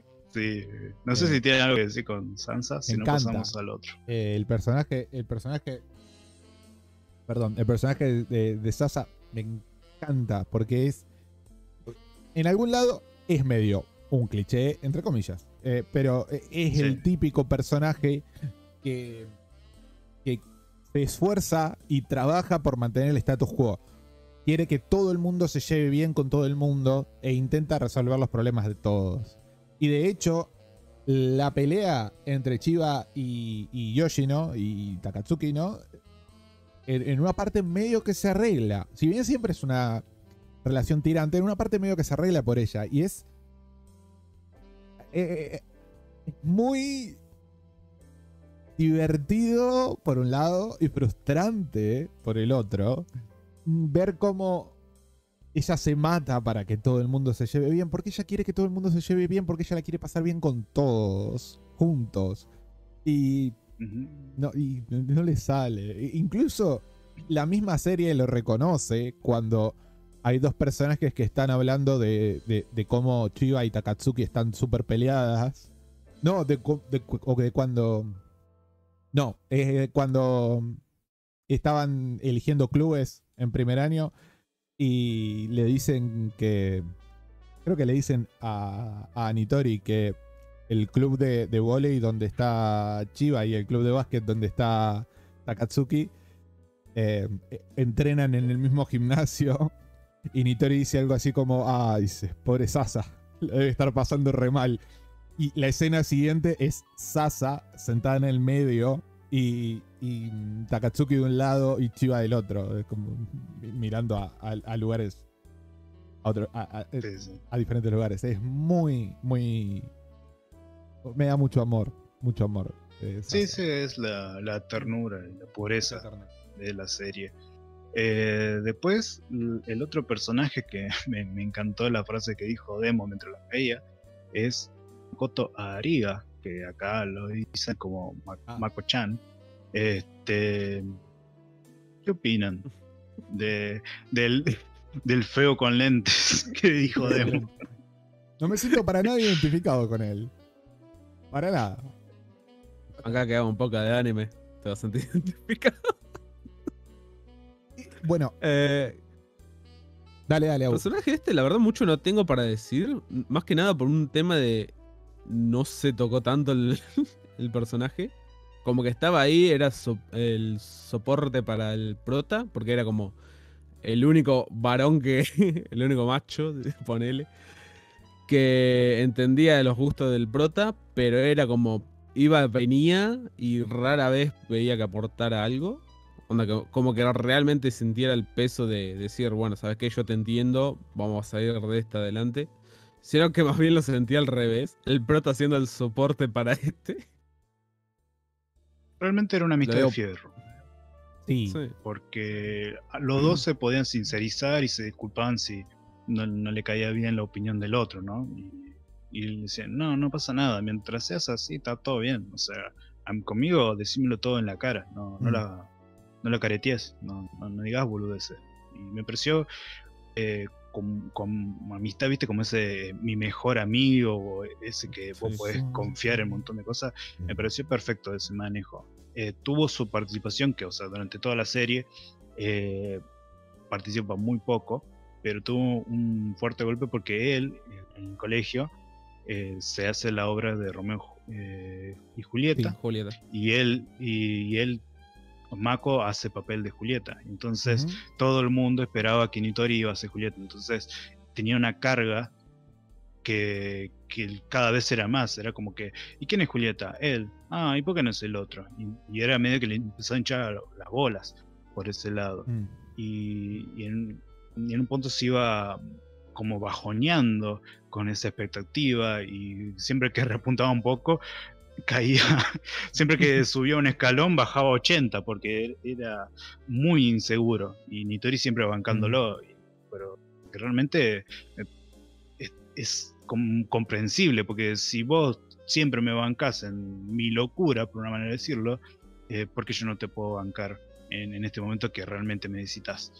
Y me pareció lindo que después, bueno, haya sido Julieta y todo eso. Que hay algo que me llamó la atención que acá es eh, Romeo y Julieta, la obra, y en el manga es la Rosa de Versalles. Ah, mira. Y estaban ahí, Ah, y ahí estaban ahí discutiendo de quién era Oscar y todo eso. Y era un cago de risa. es más, eh, Chiva, como hace uno de los papeles de, de- de protagonista, que no me acuerdo ahora, este. En el manga decían, y, y ahí presen- se presenta el personaje, está, y se, pero se supone que su personaje tiene que ser dulce, transmitir paz, y este está transmitiendo terror. Todo lo contrario. Sí, sí, sí. Bueno, Volviendo un poco a Ariga. No, no sentí mucho yo que sea un personaje de soporte. Más que nada Mm. porque eh, muy al principio le dice al prota. Y esto en un punto lo vas a tener que dejar porque te va a cambiar la voz, boludo. bueno, Te va a cambiar la voz, te va, te va a empezar a salir pelo en el pecho, creo que decía. sí. O, o los subtítulos míos, viste, porque como son los subtítulos a veces. Como, va a haber cambio, vas a tener que dejar esto Mm. en un punto. En vez de decirle algo tipo, bueno, hacelo hasta donde podás, boludo.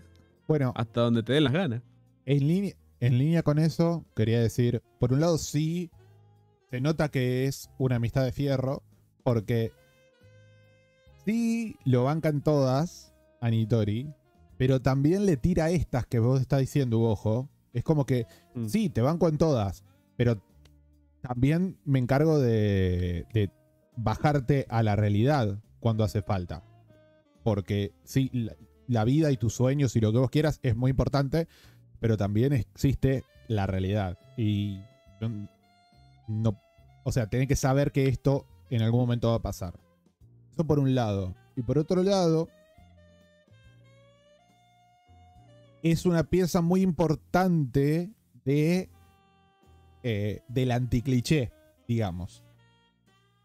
Primero por lo que decías vos, KM, porque cuando sortean los, los papeles para la obra, uno esperaría, obviamente, que los elegidos sean o Nitori y Chiba o Takatsuki, ¿no? Para fomentar esta idea de- de- del triángulo, ¿no? Y cuando sale Sí. Chiba elegida, vos decís, bien, ahora toca a, a- a Nitori. Y de repente no, sale este pibe y ahí tenés la- el primer anticliché. Y después, cuando están hablando, Mako y Nitori, y esto, y esto es una de las. Esto es una de las cosas que, que, a, que, que a vos te hace entender de que la amistad no solo es de fierro, sino que además es real. ¿Me entendés? Porque Mako le dice, mirá, yo sé que vos querés ser Julieta, porque es tu obra y porque toda la bola. Pero ¿sabes qué? Yo también quiero ser Julieta. Entonces, y, y, y, y no, y quiero ser Julieta y, para mí es muy importante y no te puedo dar el papel. Perdón, somos amigos, pero, pero no, no puedo. Y se entienden y- y está todo bien. Ahí tenés el segundo anticliché, porque uno esperaría que porque Se quiere o por alguna cuestión de la vida o, o se, o se quiebra una pierna o lo que sea y Nitori termina y no, no, la- la- Julieta al final es él Sí. y no hay ningún tipo de plot twist ahí y es fantástico. Es fantástico, es muy refrescante ver algo así. Ver anticlichés. Eh, ya. Sí, rompe, va, rompe, no. eh, se arriesga a ir a tropos que no está acostumbrado a estos Son este género. antitropos, claro. Sí, sí, sí.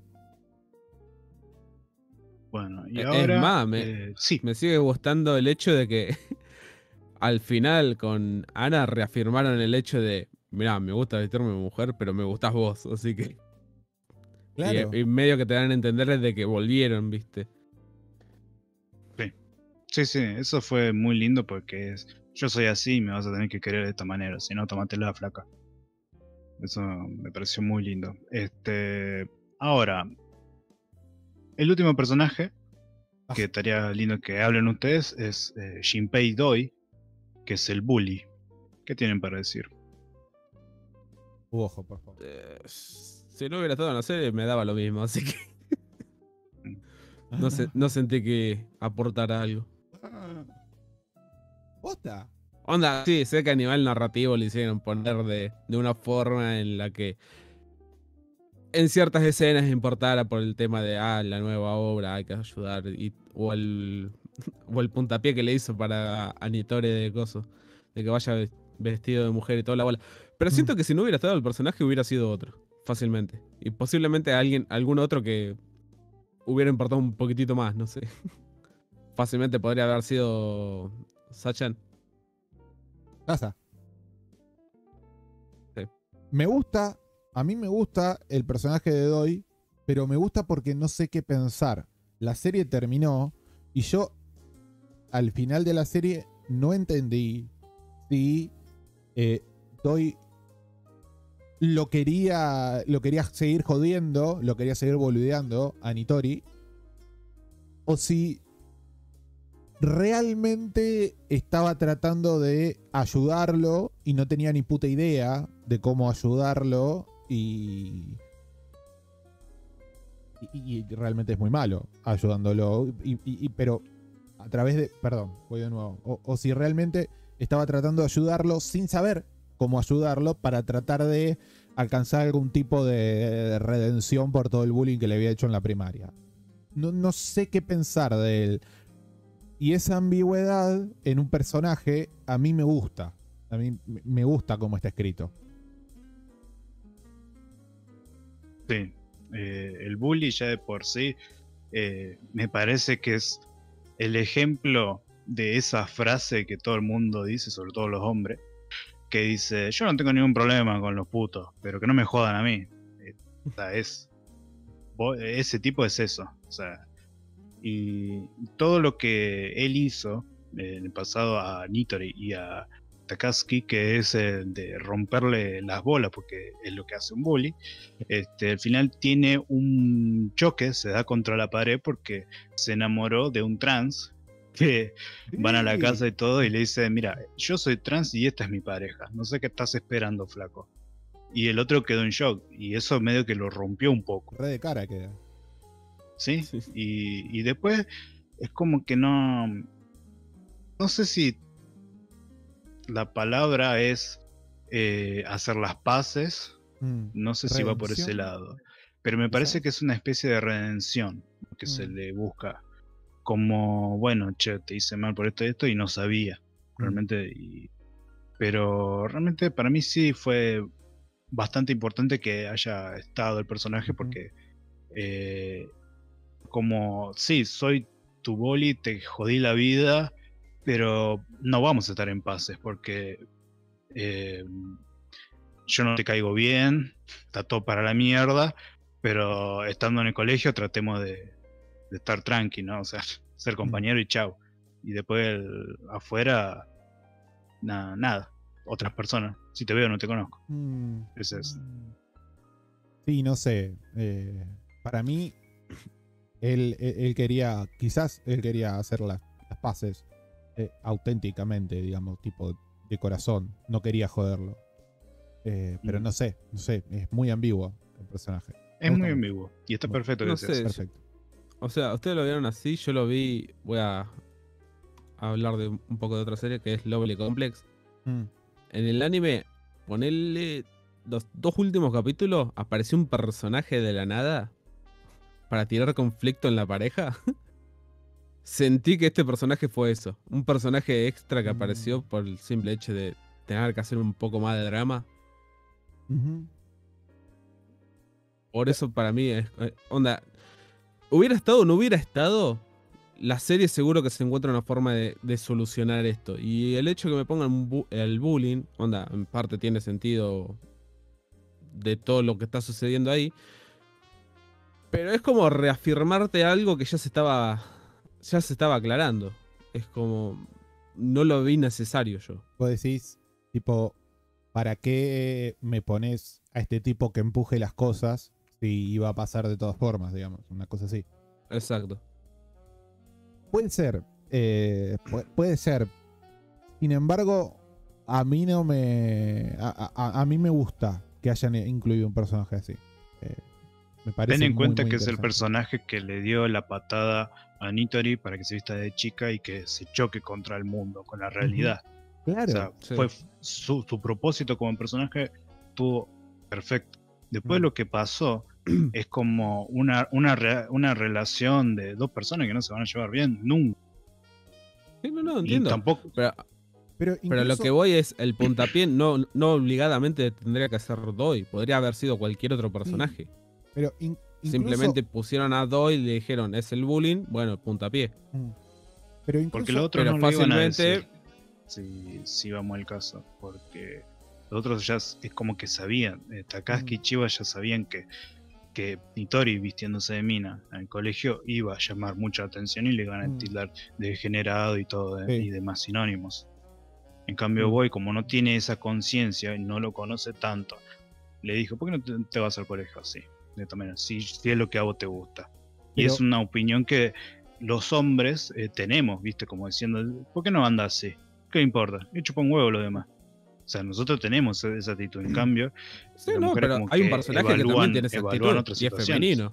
Pero incluso, incluso ese puntapié es, es, es- es ambiguo. Porque al principio, cuando, cuando yo vi esa escena, lo primero que pensé fue, bueno, eh, el pibe le está, lo, lo- está ayudando, lo está empujando y le está diciendo, mirá, esto es lo que a vos te gusta, esto es lo que vos sos, aceptalo, abrazalo y que te chupa un huevo lo que digan los demás.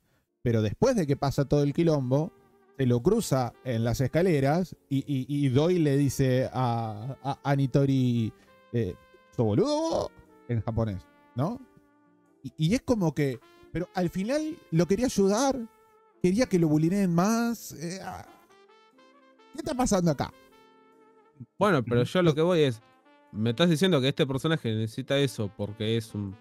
alguien que la verdad le chupa un huevo al, al protagonista. Pero si me decís por el hecho de que es un hombre, hay un personaje femenino que es medio que ya conoce, pero al mismo tiempo medio que odia al prota, que fácilmente hubiera podido dar el puntapié, que es Momo. A Momo no le caía bien a ninguno de ellos, y si un día de esto le decía, bueno, ¿por qué no vas ahí? Fácilmente la relación iba, iba a ser exactamente. La reacción iba a ser exactamente la misma. Pero Momo, Porque el personaje no le interesa. O sea, ya de por sí Momo solamente está con ellos porque Chi está con ellos. claro, el En tema es que no, no, no se cruzan otras palabras. En ningún es momento que ves por una eso- relación. Momo no puede Es ser como- la que da ese puntapié, perdón. Momo no puede ser la que da ese puntapié. ¿Por qué? Porque si, si, si Momo le da el puntapié, Momo sabe que, o sea, va a quedar como la que se juntaba con el rarito, digamos, y ella no quiere eso. O Chiva va a quedar como la que se juntaba con el rarito. Para mí, es necesario que quien quiera que, es- o era necesario que el puntapié se lo dé a alguien que no esté en su grupo de amigos y que no le importe las consecuencias que pueda llegar a tener eso. Y el único que cumple con eso es Doi. Antes de responderte, voy a re- Mm. eh, hacer algo que no tendría que hacer y es responder un comentario acá en el chat que dice: Pero si Mono, si lo hacía Mono, Mono, Momo, eh, se peleaba con su amiga. Y el problema acá es que no se iba a pelear con la amiga, al contrario, la amiga le iba a apoyar por a- a ayudar al prota a tirarlo al frente. Porque la amiga le gusta, eh, le, no le gusta el hecho de saber que su amigo es travesti. No se iban a pelear. Sí, pero hay un punto muy válido de lo que decía Demo. De que. Sí, no, pero yo eso estaba de hablando de se- Y ahora. Sí, sí, sí. Sí, el punto Eh, que dice Demo es muy válido. Sí, no, eh, eh, entiendo lo válido, entiendo todo el peso, pero siento que. ¿Qué querés que te diga? Me salió muy de la nada a mí el personaje. Eh, siento que me rompió un poco el flujo de, de cómo iba la historia. Mm. Por eso, para mí, si venía Momo y como es, viste, de, si te dice raro en la cara, te lo va a decir. Que, que venga, eh, no sé, un día saliendo del combini y lo vea al prota transvestido y dice. Ah, mirá, no te queda mal. ¿Por qué no vas a la escuela así? Una pelotudea súper desinteresada y sin pensarla. A mí me hubiera servido igual. Hubiese servido, pero no sería natural Sí, en la no. relación de ellos. Momo Ah. nunca se cruza ninguna palabra con ellos, sino es con, con Chi. O sea, Mm. si no está Chi en el medio, ella ni aparece. Y si ponen el ejemplo, ¿no? En el caso como vos Mm. dijiste, de que se lo encuentra en un combini o en la calle, el Momo hubiese desaparecido, bomba de humo y, y chao, Sí, yo a sí, vos te no te conozco, flaco. Es Claro. así, y tiene esa actitud el personaje. En cambio, con, o sea, con el flaco este, con el bully, eh, no aparece tanto de la nada porque ya vaticinaban al principio de- del pibe este que ya lo ha, ha humillado a Takaski y a Nitori. Y hablaban muy por debajo sin profundizar nada. Es que Apareció el tipo porque es como en la serie, lo veo por este lado, de que necesitamos eh, que el bully tenga su participación porque puede llegar a romper la actitud de, de, su conflicto. Lo puede llevar por el lado de que se acepta al 100% o se, o se aguarde. Y a mí me pareció Claro. bien su participación, que es corta. Por ahí el- mucho lo toma innecesario, pero es cortísima y está perfecto porque fue el como que este tipo es la realidad, este tipo es la norma, ¿no? Mm. y, ten- y, tené- y, y el, y el protagonista tiene que saber, o rompes la norma, o sea, no lo haces caso y lo haces por vos, o seguís eh, aceptando la- lo que dicen los demás. Y, eh, y para mí estuvo bien, porque fue otro, otra piedra más que tenía que haberse dado cuenta Nitori con todo lo que con todo lo que se lleva. Y así Mm, toma esa personalidad al final y por eso sabe qué decirle a, Ana al final. Sí, no, en- entiendo lo de el piedrazo a la realidad que le, que le tira ese personaje. Pero el tema está que el piedrazo de la realidad ya me lo tiró el profesor cuando le dijo que ese vestido así. Onda, eh, eh, como dije antes, es un personaje que apareció nomás para reafirmar cosas. No, no, no lo sentí yo necesario, eso es lo que voy. No puede ser. A mí me parece que es que sí, que era necesario. Sí, a mí también. Me pareció que hacía falta algo de. Mm. Bueno, Tengo algunas cositas este, que me quedaron en el tintero, pues nos, quedamos- Sí. nos estamos quedando sin tiempo. Eh, tengo acá anotado. Tengo acá anotado literalmente. Eh, lo pequeño que somos, los felices que somos. Y esto hace referencia a que hay un montón de escenas donde vos ves a, a, a Nitori y a su grupo de amigos donde está todo bien y somos todos felices y somos todos amigos y no hay ningún problema. Y en, en, lo, en general, ese tipo de escenas son, primero, la dirección de la serie es muy particular, está muy buena, me gusta mucho cómo está dirigida, pero en esas escenas en particular, te, muestran a los chicos siendo felices en un plano tipo súper amplio, súper desde lejos, y, y cuando lo estaba viendo, a mí me dio la sensación de que somos felices, pero al mismo tiempo somos insignificantes y, este momento es súper pequeño y súper efímero eh, en una vida que va a estar cargada de, de sufrimiento y de discriminación, que va a ser la vida de Nitori, ¿no? A mí me dio mucho eh, esa sensación y me, me gustó mucho. Me gusta mucho como cómo, tiene esa cosa de, planos amplios o de, mucho aire arriba, ¿viste? Con, caritas chiquitas abajo. Eh, es raro ver ese tipo de dirección y, a mí me gustó mucho. Eh, otra cosa que quería destacar es, me gusta mucho cómo maneja la tensión esta serie esas pausas dramáticas, esos momentos de, de, de mirada sin música y de que no sabes qué mierda va a pasar. Eh, está muy bien hecho, muy bien llevado también. Y... ¿Qué más tengo? Ah, hay una boludez. Eh, paso del tiempo por apodos. Y eso estaba muy bueno, porque a medida que va avanzando la serie, la serie transcurre en dos años, me parece.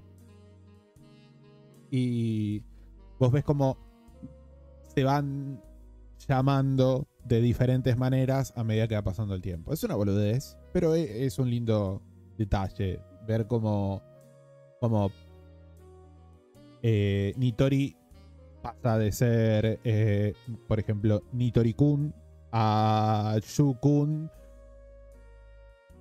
para algunos personajes después, o Nitorin para otros personajes a medida que va pasando el tiempo. Son boludeces, pero eh, aportan mucho a que el mundo sea tipo más creíble y, a, dar esa relación de que, bueno, pasó un montón de tiempo, pero aún así pasó un montón de tiempo y la relación entre estos dos personajes, bueno, se, profundizó en, este tiempo, digamos.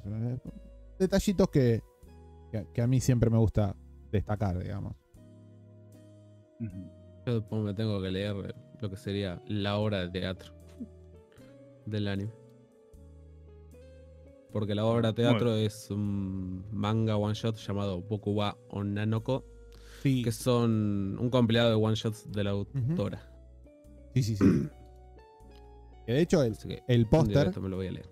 El póster es la portada del, Sí. del tomo recopilatorio, digamos. Es- Este es un lindo detalle. Me gustó mucho. No sé qué vino primero, pero es un lindo detalle. Eh, el anime y creo que después fue los one shot. Donde salieron muy, muy a la par, pero el one shot terminó mucho después. Va, el compilado de one shot. Sí, sí, sí. Bueno, muy bien. Perfecto, entonces conclusiones, chicos. ¿Quién quiere empezar? Eh, voy yo, que va con parte de, de lo, de lo malo de la serie. Que va con odio. Y es que si no tenés un mínimo de interés, o sea, si no tenés ganas de ponerle un poco de interés a los personajes, no vas a disfrutar para nada la serie. Que es lo que me pasó a mí. Estaba muy quemado la cabeza como para que me importaran los personajes y fue de, bueno, ya está, vamos a, vamos a verlo. que termine como termine. Pero si le pones un, un 1% mínimo de interés, es muy linda la serie. Y es recontra recomendable. ¿Demo? Listo. Bien. eh,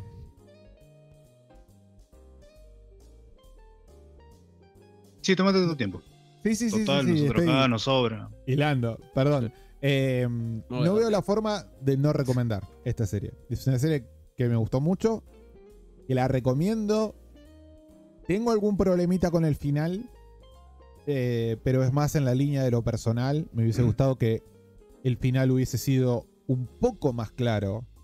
eh, o, o- o no hubiese dejado tantas cosas a, a la interpretación del, del televidente. Me hubiese gustado, aunque sea cortito, un, un epílogo. Una de- imagen. Claro, de tantos años después o de tanto tiempo después o una cosa así. Ese tipo de cosas las hubiese agradecido mucho. Como dije, es una serie que me gustó mucho. Es una historia de personajes, por un lado, pero es sobre todo la lucha de un muchacho. Eh, en clara referencia a cierta serie que no voy a nombrar. Eh, pero sí, en líneas generales es una serie que me gustó mucho y que recomiendo. Sobre todo en el día de hoy, donde estos temas son tan. eh, están Moneda tan- corriente. Claro, están tan, tan al corriente y donde muchas veces, se, eh, de- sobre todo desde el punto de vista artístico, se lo trata de una manera súper idiota. Me parece que el tema está tratando, el tema está tratado, el tema del, del travestismo, ¿no? En este caso, está tratado con mucha seriedad y, y no con mucha seriedad. Con la seriedad y- Respeto. y que se merece, con la seriedad y el respeto que se merece, claro. Y, y- y me encantaría ver más, más horas así en el futuro. Así que, para la recomendación, súper recomendado. Demo approves. Bien. I love Trapito. ¿Y a vos, KM? Eh, realmente es una serie que, como dije antes, me tenía muchas ganas de verlas y te cumplió con todas las expectativas. Los plot twists que estuvieron utilizando estaba bien, está perfecto. Este, la música es ultramente genérica, no me conmovió en ningún lado. Está puesta en el momento que tiene que poner, pero me pareció, creo que fue lo peor que pudo haber hecho el flaco este. Sí, viniendo de Bakemono Atari, de Vistar, de Haruji, que tiene un, un laburo muy exquisito. Este, en este, acá no se lució para nada. Me parece que fue los outtapes que encontró cuando estaba estudiando música. Eso. Este, después, lo que es queda, parte de, de- de animación, es muy linda animación porque no sorprende, o sea, no es eh, fantástica, así como, no sé, para tirar ahora un ejemplo de Kimetsu, o sea, no es algo que te va a volar la cabeza, pero sí te va a volar la cabeza los detalles de la caída de los pelos, las arrugas de la ropa, los movimientos y todo eso que si uno que más o menos está acostumbrado en, en la ilustración y ve esos detalles, le, lo, va a norm- le va a parecer algo mente- normalmente bello, ¿no? Este, sí, tienen los fondos blancos que cada vez pasan más los capítulos cada vez más blancos, pero juega con la paleta de colores en los momentos más indicados, cuando los conflictos personales con con, con Boy que estaba, eh, Doi digo, digo Boy, no sé por qué, es Doi que estaba en la habitación de Nitori, que juegan con ese color eh, naranjado tirando rojizo, el conflicto que han tenido Takaski con Nitori, que juegan con un color más púrpura, o sea, tienen un lindo manejo de paleta de colores muy hermoso. El, también hecho los fondos, los autos en CGI no chocan para nada, están bien. Ah, también hay personas moviéndose en, cuidado. CG en CGI, pero como era algo muy Mm, no era necesario, pero ten- o sea, para ahorrar herramientas o presupuesto lo podemos poner de fondo. Pero más allá de eso, tiene muy lindo laburo eh, lo que es artístico. Narrativo es perfecto, tiene un guion muy lindo, muy bien hecho. No solamente respetando la temática principal de los conflictos internos que tiene Nitori, sino eh, los diálogos que son ping-pong, a veces eh, Chiva responde de una manera más grosera y todo eso, y es un cago de risa. Que me pareció perfecto cuando le dicen eh, tenemos que cambiar la obra, o ahora, ahora en el salón están tomando té, y cuando no le dan pelota, bueno, ahora empieza una masacre, y cosas así por el estilo, y me da mucha. Esas personalidades están muy bien eh, puestas. Este, yo le, le pondría eh, un 8 Mm. pero uno, el, son dos puntos que le bajo. Uno, la música y uno que me dejó con ganas. Porque quería, así como demo, que sea un capítulo más, porque 11 capítulos me parece demasiado corto. Que sea uno más para cerrar bien eh, todo. Todo lo que con. O que sea que hayan terminado el año, no sé, no me interesa. Pero que cierre todo, porque me faltó. fal- una vez que termina la serie, es como que, che, eh, me hubiese gustado que ci- cierren con este personaje, cierren con este o cierren al otro, porque quedó todo medio eh, el- a, in- a interpretación, cosa que a mí no me molesta para nada. Eh, que no me molesta para nada, pero es como que estás muy frenética con la serie, porque te lo venís comiendo uno por uno, porque es lo que me pasó a mí. Yo lo empecé a ver a la una y media y me fui a dormir a las seis, porque me lo fui, me fui clavando uno tras otro. Eh, yo dije, voy a ver dos o tres capítulos, no, las bolas, me clavé los once de uno. Sí, Y empieza, empieza con muchos problemas. Te lo van res- eh, resolviendo los problemas más pequeños, por así decirlo. Y el problema grande es como nunca ves que lo resuelven, sino más bien como que te dan a entender que lo resuelven. Mm. Y vos querés Ah, ver sí. exactamente cómo es que lo resuelven. Sí, sí, sí, exactamente. Y esto, por eso me pareció muy, muy bien hecho. El nivel de guion es impecable. Así que bueno, esto fue eh, capítulo número 28 de Dado Fractal. Hemos hablado de Haru Musoko y cerramos el tema principal.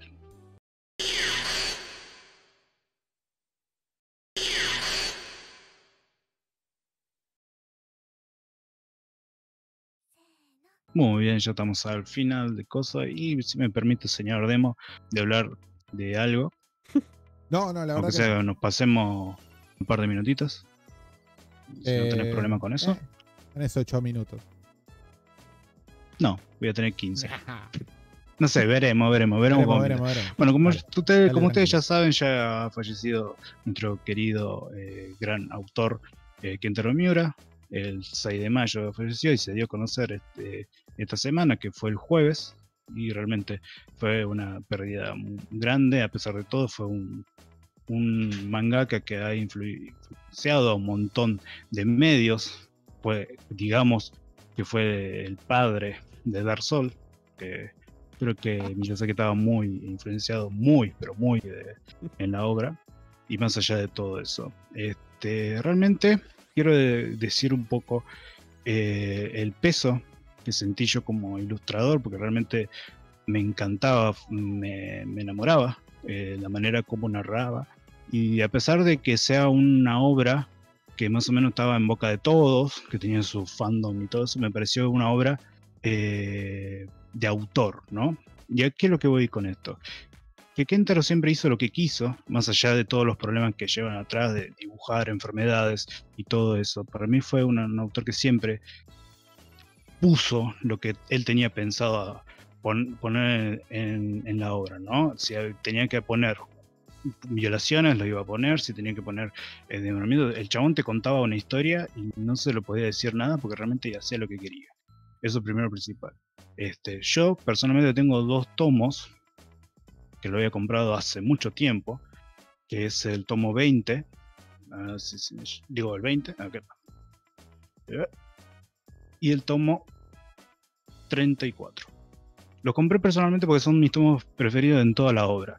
El tomo 20 se trata de un quilombo de estos cristianos que, que después se empiezan a convertir en demonios y se hace todo un desastre y en la que se vuelven a liberar eh, estos dioses y demonios. Y, y, el, y el tomo 34 es que nuevamente, después de mucho tiempo, se vuelven a liberar estos cuando el ejército de Griffith eh, ejército demonio de Griffith se enfrenta contra otro ejército y contra ese árbol gigante que abre en un portal y se va toda la mierda. Yo decía, tomo 34 y acá siento que la obra se va más a la mierda. Es fantástico. O sea, es como que Berser, eh, a pesar de los tomos, eh, decía, no se puede ir, no, no puede romper, no puede romper las barreras. Y el chabón lo hacía, no sabes cómo, cómo lo hace y lo hacía. Fascinado por, esta, por estos dos tomos que lo compré. Primero por la- el momento, el clima de la obra, y el otro son los dibujos. O sea, el 34, vos lo, vos lo abrís, el manga, lo vas leyendo y vos decís, todo esto es póster. Póster, tatuaje, remera, o sea, es, es así. O sea, no puede ser como, como el flaco haya dibujado un tomo de esta manera, es una animalada. Sobre todo cuando, cuando te encontrás con, con un, un póster, tengo acá un póster de, de Gatsu que ya transformado, eh, así con la armadura negra y todo eso, que es fantástico. Y realmente me, me sorprendió muchísimo verlo, haberlo consumido, lo conocí allá en el 2006, había visto el anime y después me lo comí el manga todo de un tirón. Cuando me lo he comido de una, eh, era como realmente, sí, tómate tu tiempo para hacer el manga, tómate tu tiempo porque estás dando material y de la buena. Y, y siempre me, me gustó. Bueno, eso de eh, Berserk, eh, tengo entendido que la historia ya está finalizada. La única razón por la cual no sale los capítulos era porque el, el mangaka se tomaba su tiempo a la hora de dibujar. Y ahora mismo hay como una especie de rumor, no hay ninguna confirmación por lo que sé, de que la historia la puede seguir continuando los asistentes. Sí. No sé cómo Sí, va a ser el coso. Uh, se me. Mira, No, no personalmente. sé si quisiera mm, verlo. No sé si quisiera verlo. Más que nada porque quiero ver el, el- el dibujo del autor original. Pero en términos de historia, quiero saber dónde continúa. Cómo continúa. Claro. Bueno, Claro, perso- personalmente me chupa un huevo eso. O sea, eh, que continúe o no, realmente no me importa. Ha dejado varias, o, o Mm. sea, de, de verse ha dejado bastantes historias y yo valoro muchísimo. Realmente no me interesa. Ahora, si hay, si ya está el final escrito y todo eso, bueno, después ellos verán y con el permiso de la familia veremos si lo llegan a publicar y esas cosas. Pero realmente a mí no me interesa. A mí lo que más me apena es la pérdida de él eh, siendo tan joven, lidiando con la enfermedad y sobre todo una persona que ha vivido de lo que quiso y hacía lo que quería dentro de la obra, porque no muchos hacen eso. Más allá de poner un ejemplo, eh, no sé, eh, Kishimoto, ¿no? Mm. Que ha, Sí. ha estado... No, vamos a ponerle con Toriyama, que es un poco más, un poco más conocido, que quiso terminar la obra con... En la saga de Freezer le siguieron pateándolo hasta Cell y Majin Buu, ¿no? Y era como que no, no había una paz. Y llega un momento que Toriyama ha- hay una especie de amor y odio hacia su obra. Ya con Kentaro Miura eh, era su hijo, era su, era su segunda mitad, era todo lo que quería y realmente el tipo hacía lo que, que quería en eso. Y, y me, me- me chocó que una persona que realmente hace lo que le guste y a la manera que y a la manera como lo hace, eh, me, me pegó bastante duro en ese sentido. Después, eh, para, esto es otra idea. Así que Demo, si querés decir algo.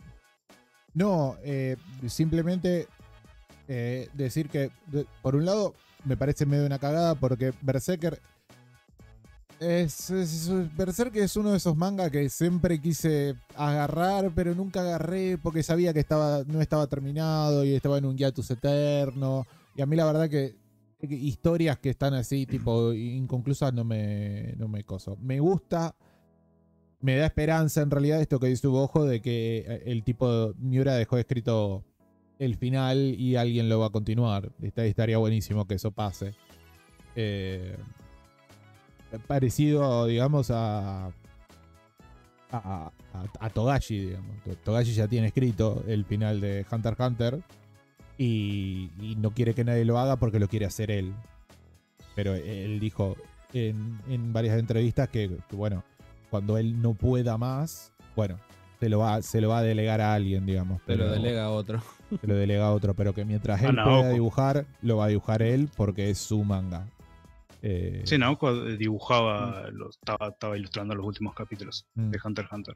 Ah, mira, no sabía. Eh, sí, uno es eso. Y otro es que, mira, este, mira, sí dicen, tenemos el final, este, no es el, el único y el último autor que murió con, con la obra inconclusa. Ya, ha ya, ya ha habido, ya ha habido en novelas que se publicaron post-mortem en la que pudieron publicar por el permiso de la familia. Este, bueno, si tiene final, bien para los fanáticos, pero para mí eso no es Sí. el dilema. Eh, ah, también hay no, otro dilema que me, me sorprendió mucho.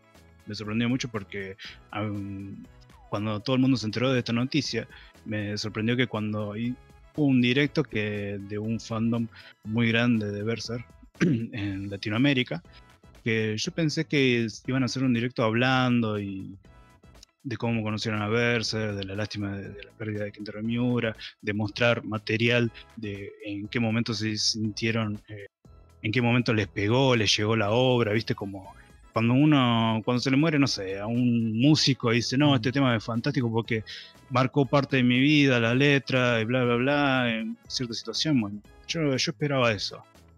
Eh, lo que me encontré fue la aberración más asquerosa de- del mundo de los fanáticos.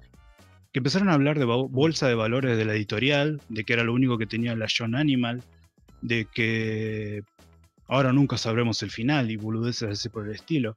Este, y, una frase que me rompió mucho las pelotas, que fue uno de los fanáticos dice, yo tengo en la habitación lleno de póster de, de Berserk, decía, muñecos, figuras y todo eso. ¿Y ahora qué hago? Me lo voy a meter todo en el culo. Cuando dijo eso, realmente tenía muchas ganas de meterme, tenía muchas ganas de meterme en el Zoom, cagarlos a pedo, o ir a su casa y piedrarlos, porque realmente no, No puede decir sentido. eso. No, no, ¿Qué ¿Cómo tiene que realmente no es sé. que Se, se te muere un autor, todo lo que te gustó de ese autor de la nada deja de ser relevante, boludo. Es una pelotudez grande como una casa. Eh, No, no, no tiene sentido. Es sí, y creo que pasa mucho más allá de que, en el caso de este, de que se murió Miura, eh, también pasa por el lado de, de obras largas o no tan largas, poner que tiene entre 14 y 20 tomos, que llegan a un final y dice, el final es malo, ¿viste? Y ya no soy fanático de esta serie porque el final es malo. Eh, ah, puedo, puedo citar el, el más reciente, que fue el final de Shingeki, que fue bastante polémico. Y a mí me pareció un final normal y muy esperable para la serie. Este, Bastante y decente, creo que, diría yo. Sí, y creo que todo, todo lo que hubo antes de ese final eh, habla por sí, por sí mismo y se sostiene. Y dejar de ser fanático por algo, como el ejemplo de un final malo, porque se haya muerto el autor, qué sé yo, amigo, me parece que estás mirando otro lado. Pito A chico. ver. No sé si fue en, creo que sí, ya fue en este podcast cuando hablé del final de, de Domecano. El final de Domecano es nefasto, es asqueroso, lo detesto, no me gusta. Pero las emociones que yo fui sintiendo a través de los seis años que estuve leyendo esa mierda, ¿me entendés? Eh, no desaparecen. Están ahí, no me lo las quita nadie, nadie. digamos. Mm. Por más de que el final sea malo. Es que lo dije también en su momento, digamos. Eh, e- es como. Es como escalar una montaña gigante para llegar al lago que está en la cima, ¿no es cierto? Y, y en el camino ves pasajes hermosos y, y acampás y disfrutás y la pasás re bien. Y cuando llegas a la cima, el lago se secó, no está. ¿es una decepción? Sí, es una decepción, porque me hubiese gustado un final, o un buen final, o lo que sea. Pero nada te quita el camino recorrido. Y ahí es donde está el valor, para mí. Por eso nunca evalúo la obra gracia. por el final. Caminante no hay camino. A mí me da gracia que hay andar. fans ahora que están tratando de hacer un final nuevo para Shingeki. Y yo siempre que veo es- esa, esa noticia pienso, ¿no pueden hacer eso con Kimetsu, boludo? ¿No le pueden dar algo más Mira, de digno? Kimetsu no está tan mal. Es un final promedio para una Es manga re promedio. vamos. genérico, boludo. Está bien Si que quieren- es genérico, pero es recontra genérico el final. Un final genérico. Si da- querés darle algo digno, dale algo digno a, Seiya, no que Kimetsu, boludo. ¿Tiene final eso? Sí, tiene final. Cuando termine, cuando sí. Siempre tenemos Cuando termine Tiene un un final. ahí le damos un final. tiene un final. Pero realmente en, en este punto, en la pérdida de, de Miura, realmente lo que me gustó es que la gente que realmente admiraba a, a- a Miura Mm. haya hecho grandes homenajes, haya compartido anécdotas, eh, cos- eh, también cosas que él mismo pensaba, anotaciones. eh, hasta la misma gente que juega videojuegos ha hecho lindos homenajes que lo pueden ver recopilados en YouTube o en cualquier lado, en cualquier red sociales. Y, es lindo, pero lo que más me choca fue ese lado de donde varios youtubers de, de acá, de Argentina, eh, al momento que se enteraban hacían un video de cuatro minutos o un minuto y medio diciendo que se murió Miura. Y realmente me, me das asco. Subiendo Me das, me, me- das asco, ¿no? Realmente esa- esa- esas actitudes me repugnan mucho. Prefiero más que muestres un fanar o, ha- o hagas un fanar o Mm. hagas un video ah, hablando de cómo conociste la obra, las escenas que te marcaron, qué fue tan importante versus en tu vida, todo eso antes de tirar un video diciendo se murió mi obra, sí, cuatro minutos de pecho. Y dan y poniendo diciendo, no, por esto y esto y lo otro. No, no funciona, amigo. No. Para, eh, si realmente admirabas la obra, Sí. Es flojo. dale un poco Esto creo que lo dije, no me acuerdo si lo dije en la previa o antes de empezar la previa, que hoy entré al Final Fantasy Online y entré a esa ciudad donde todo el mundo estaba haciendo el homenaje a Miura y seguía viendo gente ahí aún, con los personajes con las espadas gigantes y las armaduras gigantes. Y me sorprende mucho cómo ya, eh, siendo dos días desde la noticia, Solán, eh, Es que- sigue habiendo gente ahí.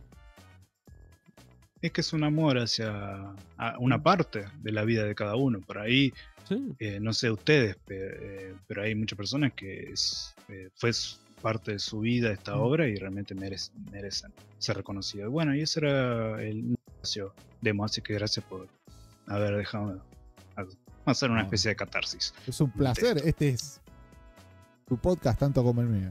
Así que, Bueno, señor Demo, ¿qué vamos a ver para el próximo ¿qué programa? vamos a ver? ¡Uh! Redoble de tambores, por favor. Ah, no, no hay triggers. Eh, en el próximo episodio vamos a estar viendo Tenshi no Tamago. O Tenshi no Tamago Mm. o Angel's Egg. Eh, wow. eh, no puedo creer que llegamos a esto. Eh, Tenshi no Tamago está en la lista desde hace, no sé, seis meses. Y no puedo creer que llegamos acá. Tengo muchas ganas de hablar de esto. Seis No meses, sé creo que un qué carajo más. vamos a decir de esto. Pero eh, estoy Me parece que la quería ver antes que hagamos el podcast. ¿Quién? ¿No? ¿Tupo? No, yo Oh. ya la vi. Es más, la primera vez que la vi, la vi dos veces. O sea, la terminé de ver y la volví a ver de nuevo, al toque, porque es Listo, el, próximo programa lo hace Demo solo. increíble. Es, la primera vez que la vi me rompió la cabeza. Fue una locura. Una locura. Em, así que bueno, ya saben. Tenshi no Tamago, especial Tenshi no Tamago. claro, Tenshi no Tamago es cortita, así que véanla para el próximo episodio, así podemos. eh, así pueden valorar más nuestras opiniones y qué sé yo. Eh, O pueden compartirla. Exacto. Nos pueden, eh, nos pueden escuchar en iBox, en iTunes y en Spotify. Nos pueden ver en YouTube en diferido o nos pueden ver en vivo en Twitch un sábado cada 15 días, un sábado por medio a las 22 horas. Eh, le agradecemos a, a todos los que estuvieron e- en el chat acompañándonos eh, en esta transmisión. Eh, estamos en Facebook, Twitter e Instagram. Y, y si les copa y, y quieren, pueden tirar ahí un cafecito en cafecito.app barra fractal. Pero, Mira cómo pasa la gorra. claro, pero lo importante es, como siempre, que se suscriban, que nos sigan, que le den like y que comenten. Y se me cae el mate. eh, y que comenten. Y sobre todo que comenten, porque nos interesa saber qué carajo piensan ustedes de todo lo que decimos y todo lo que opinamos, eh, etcétera.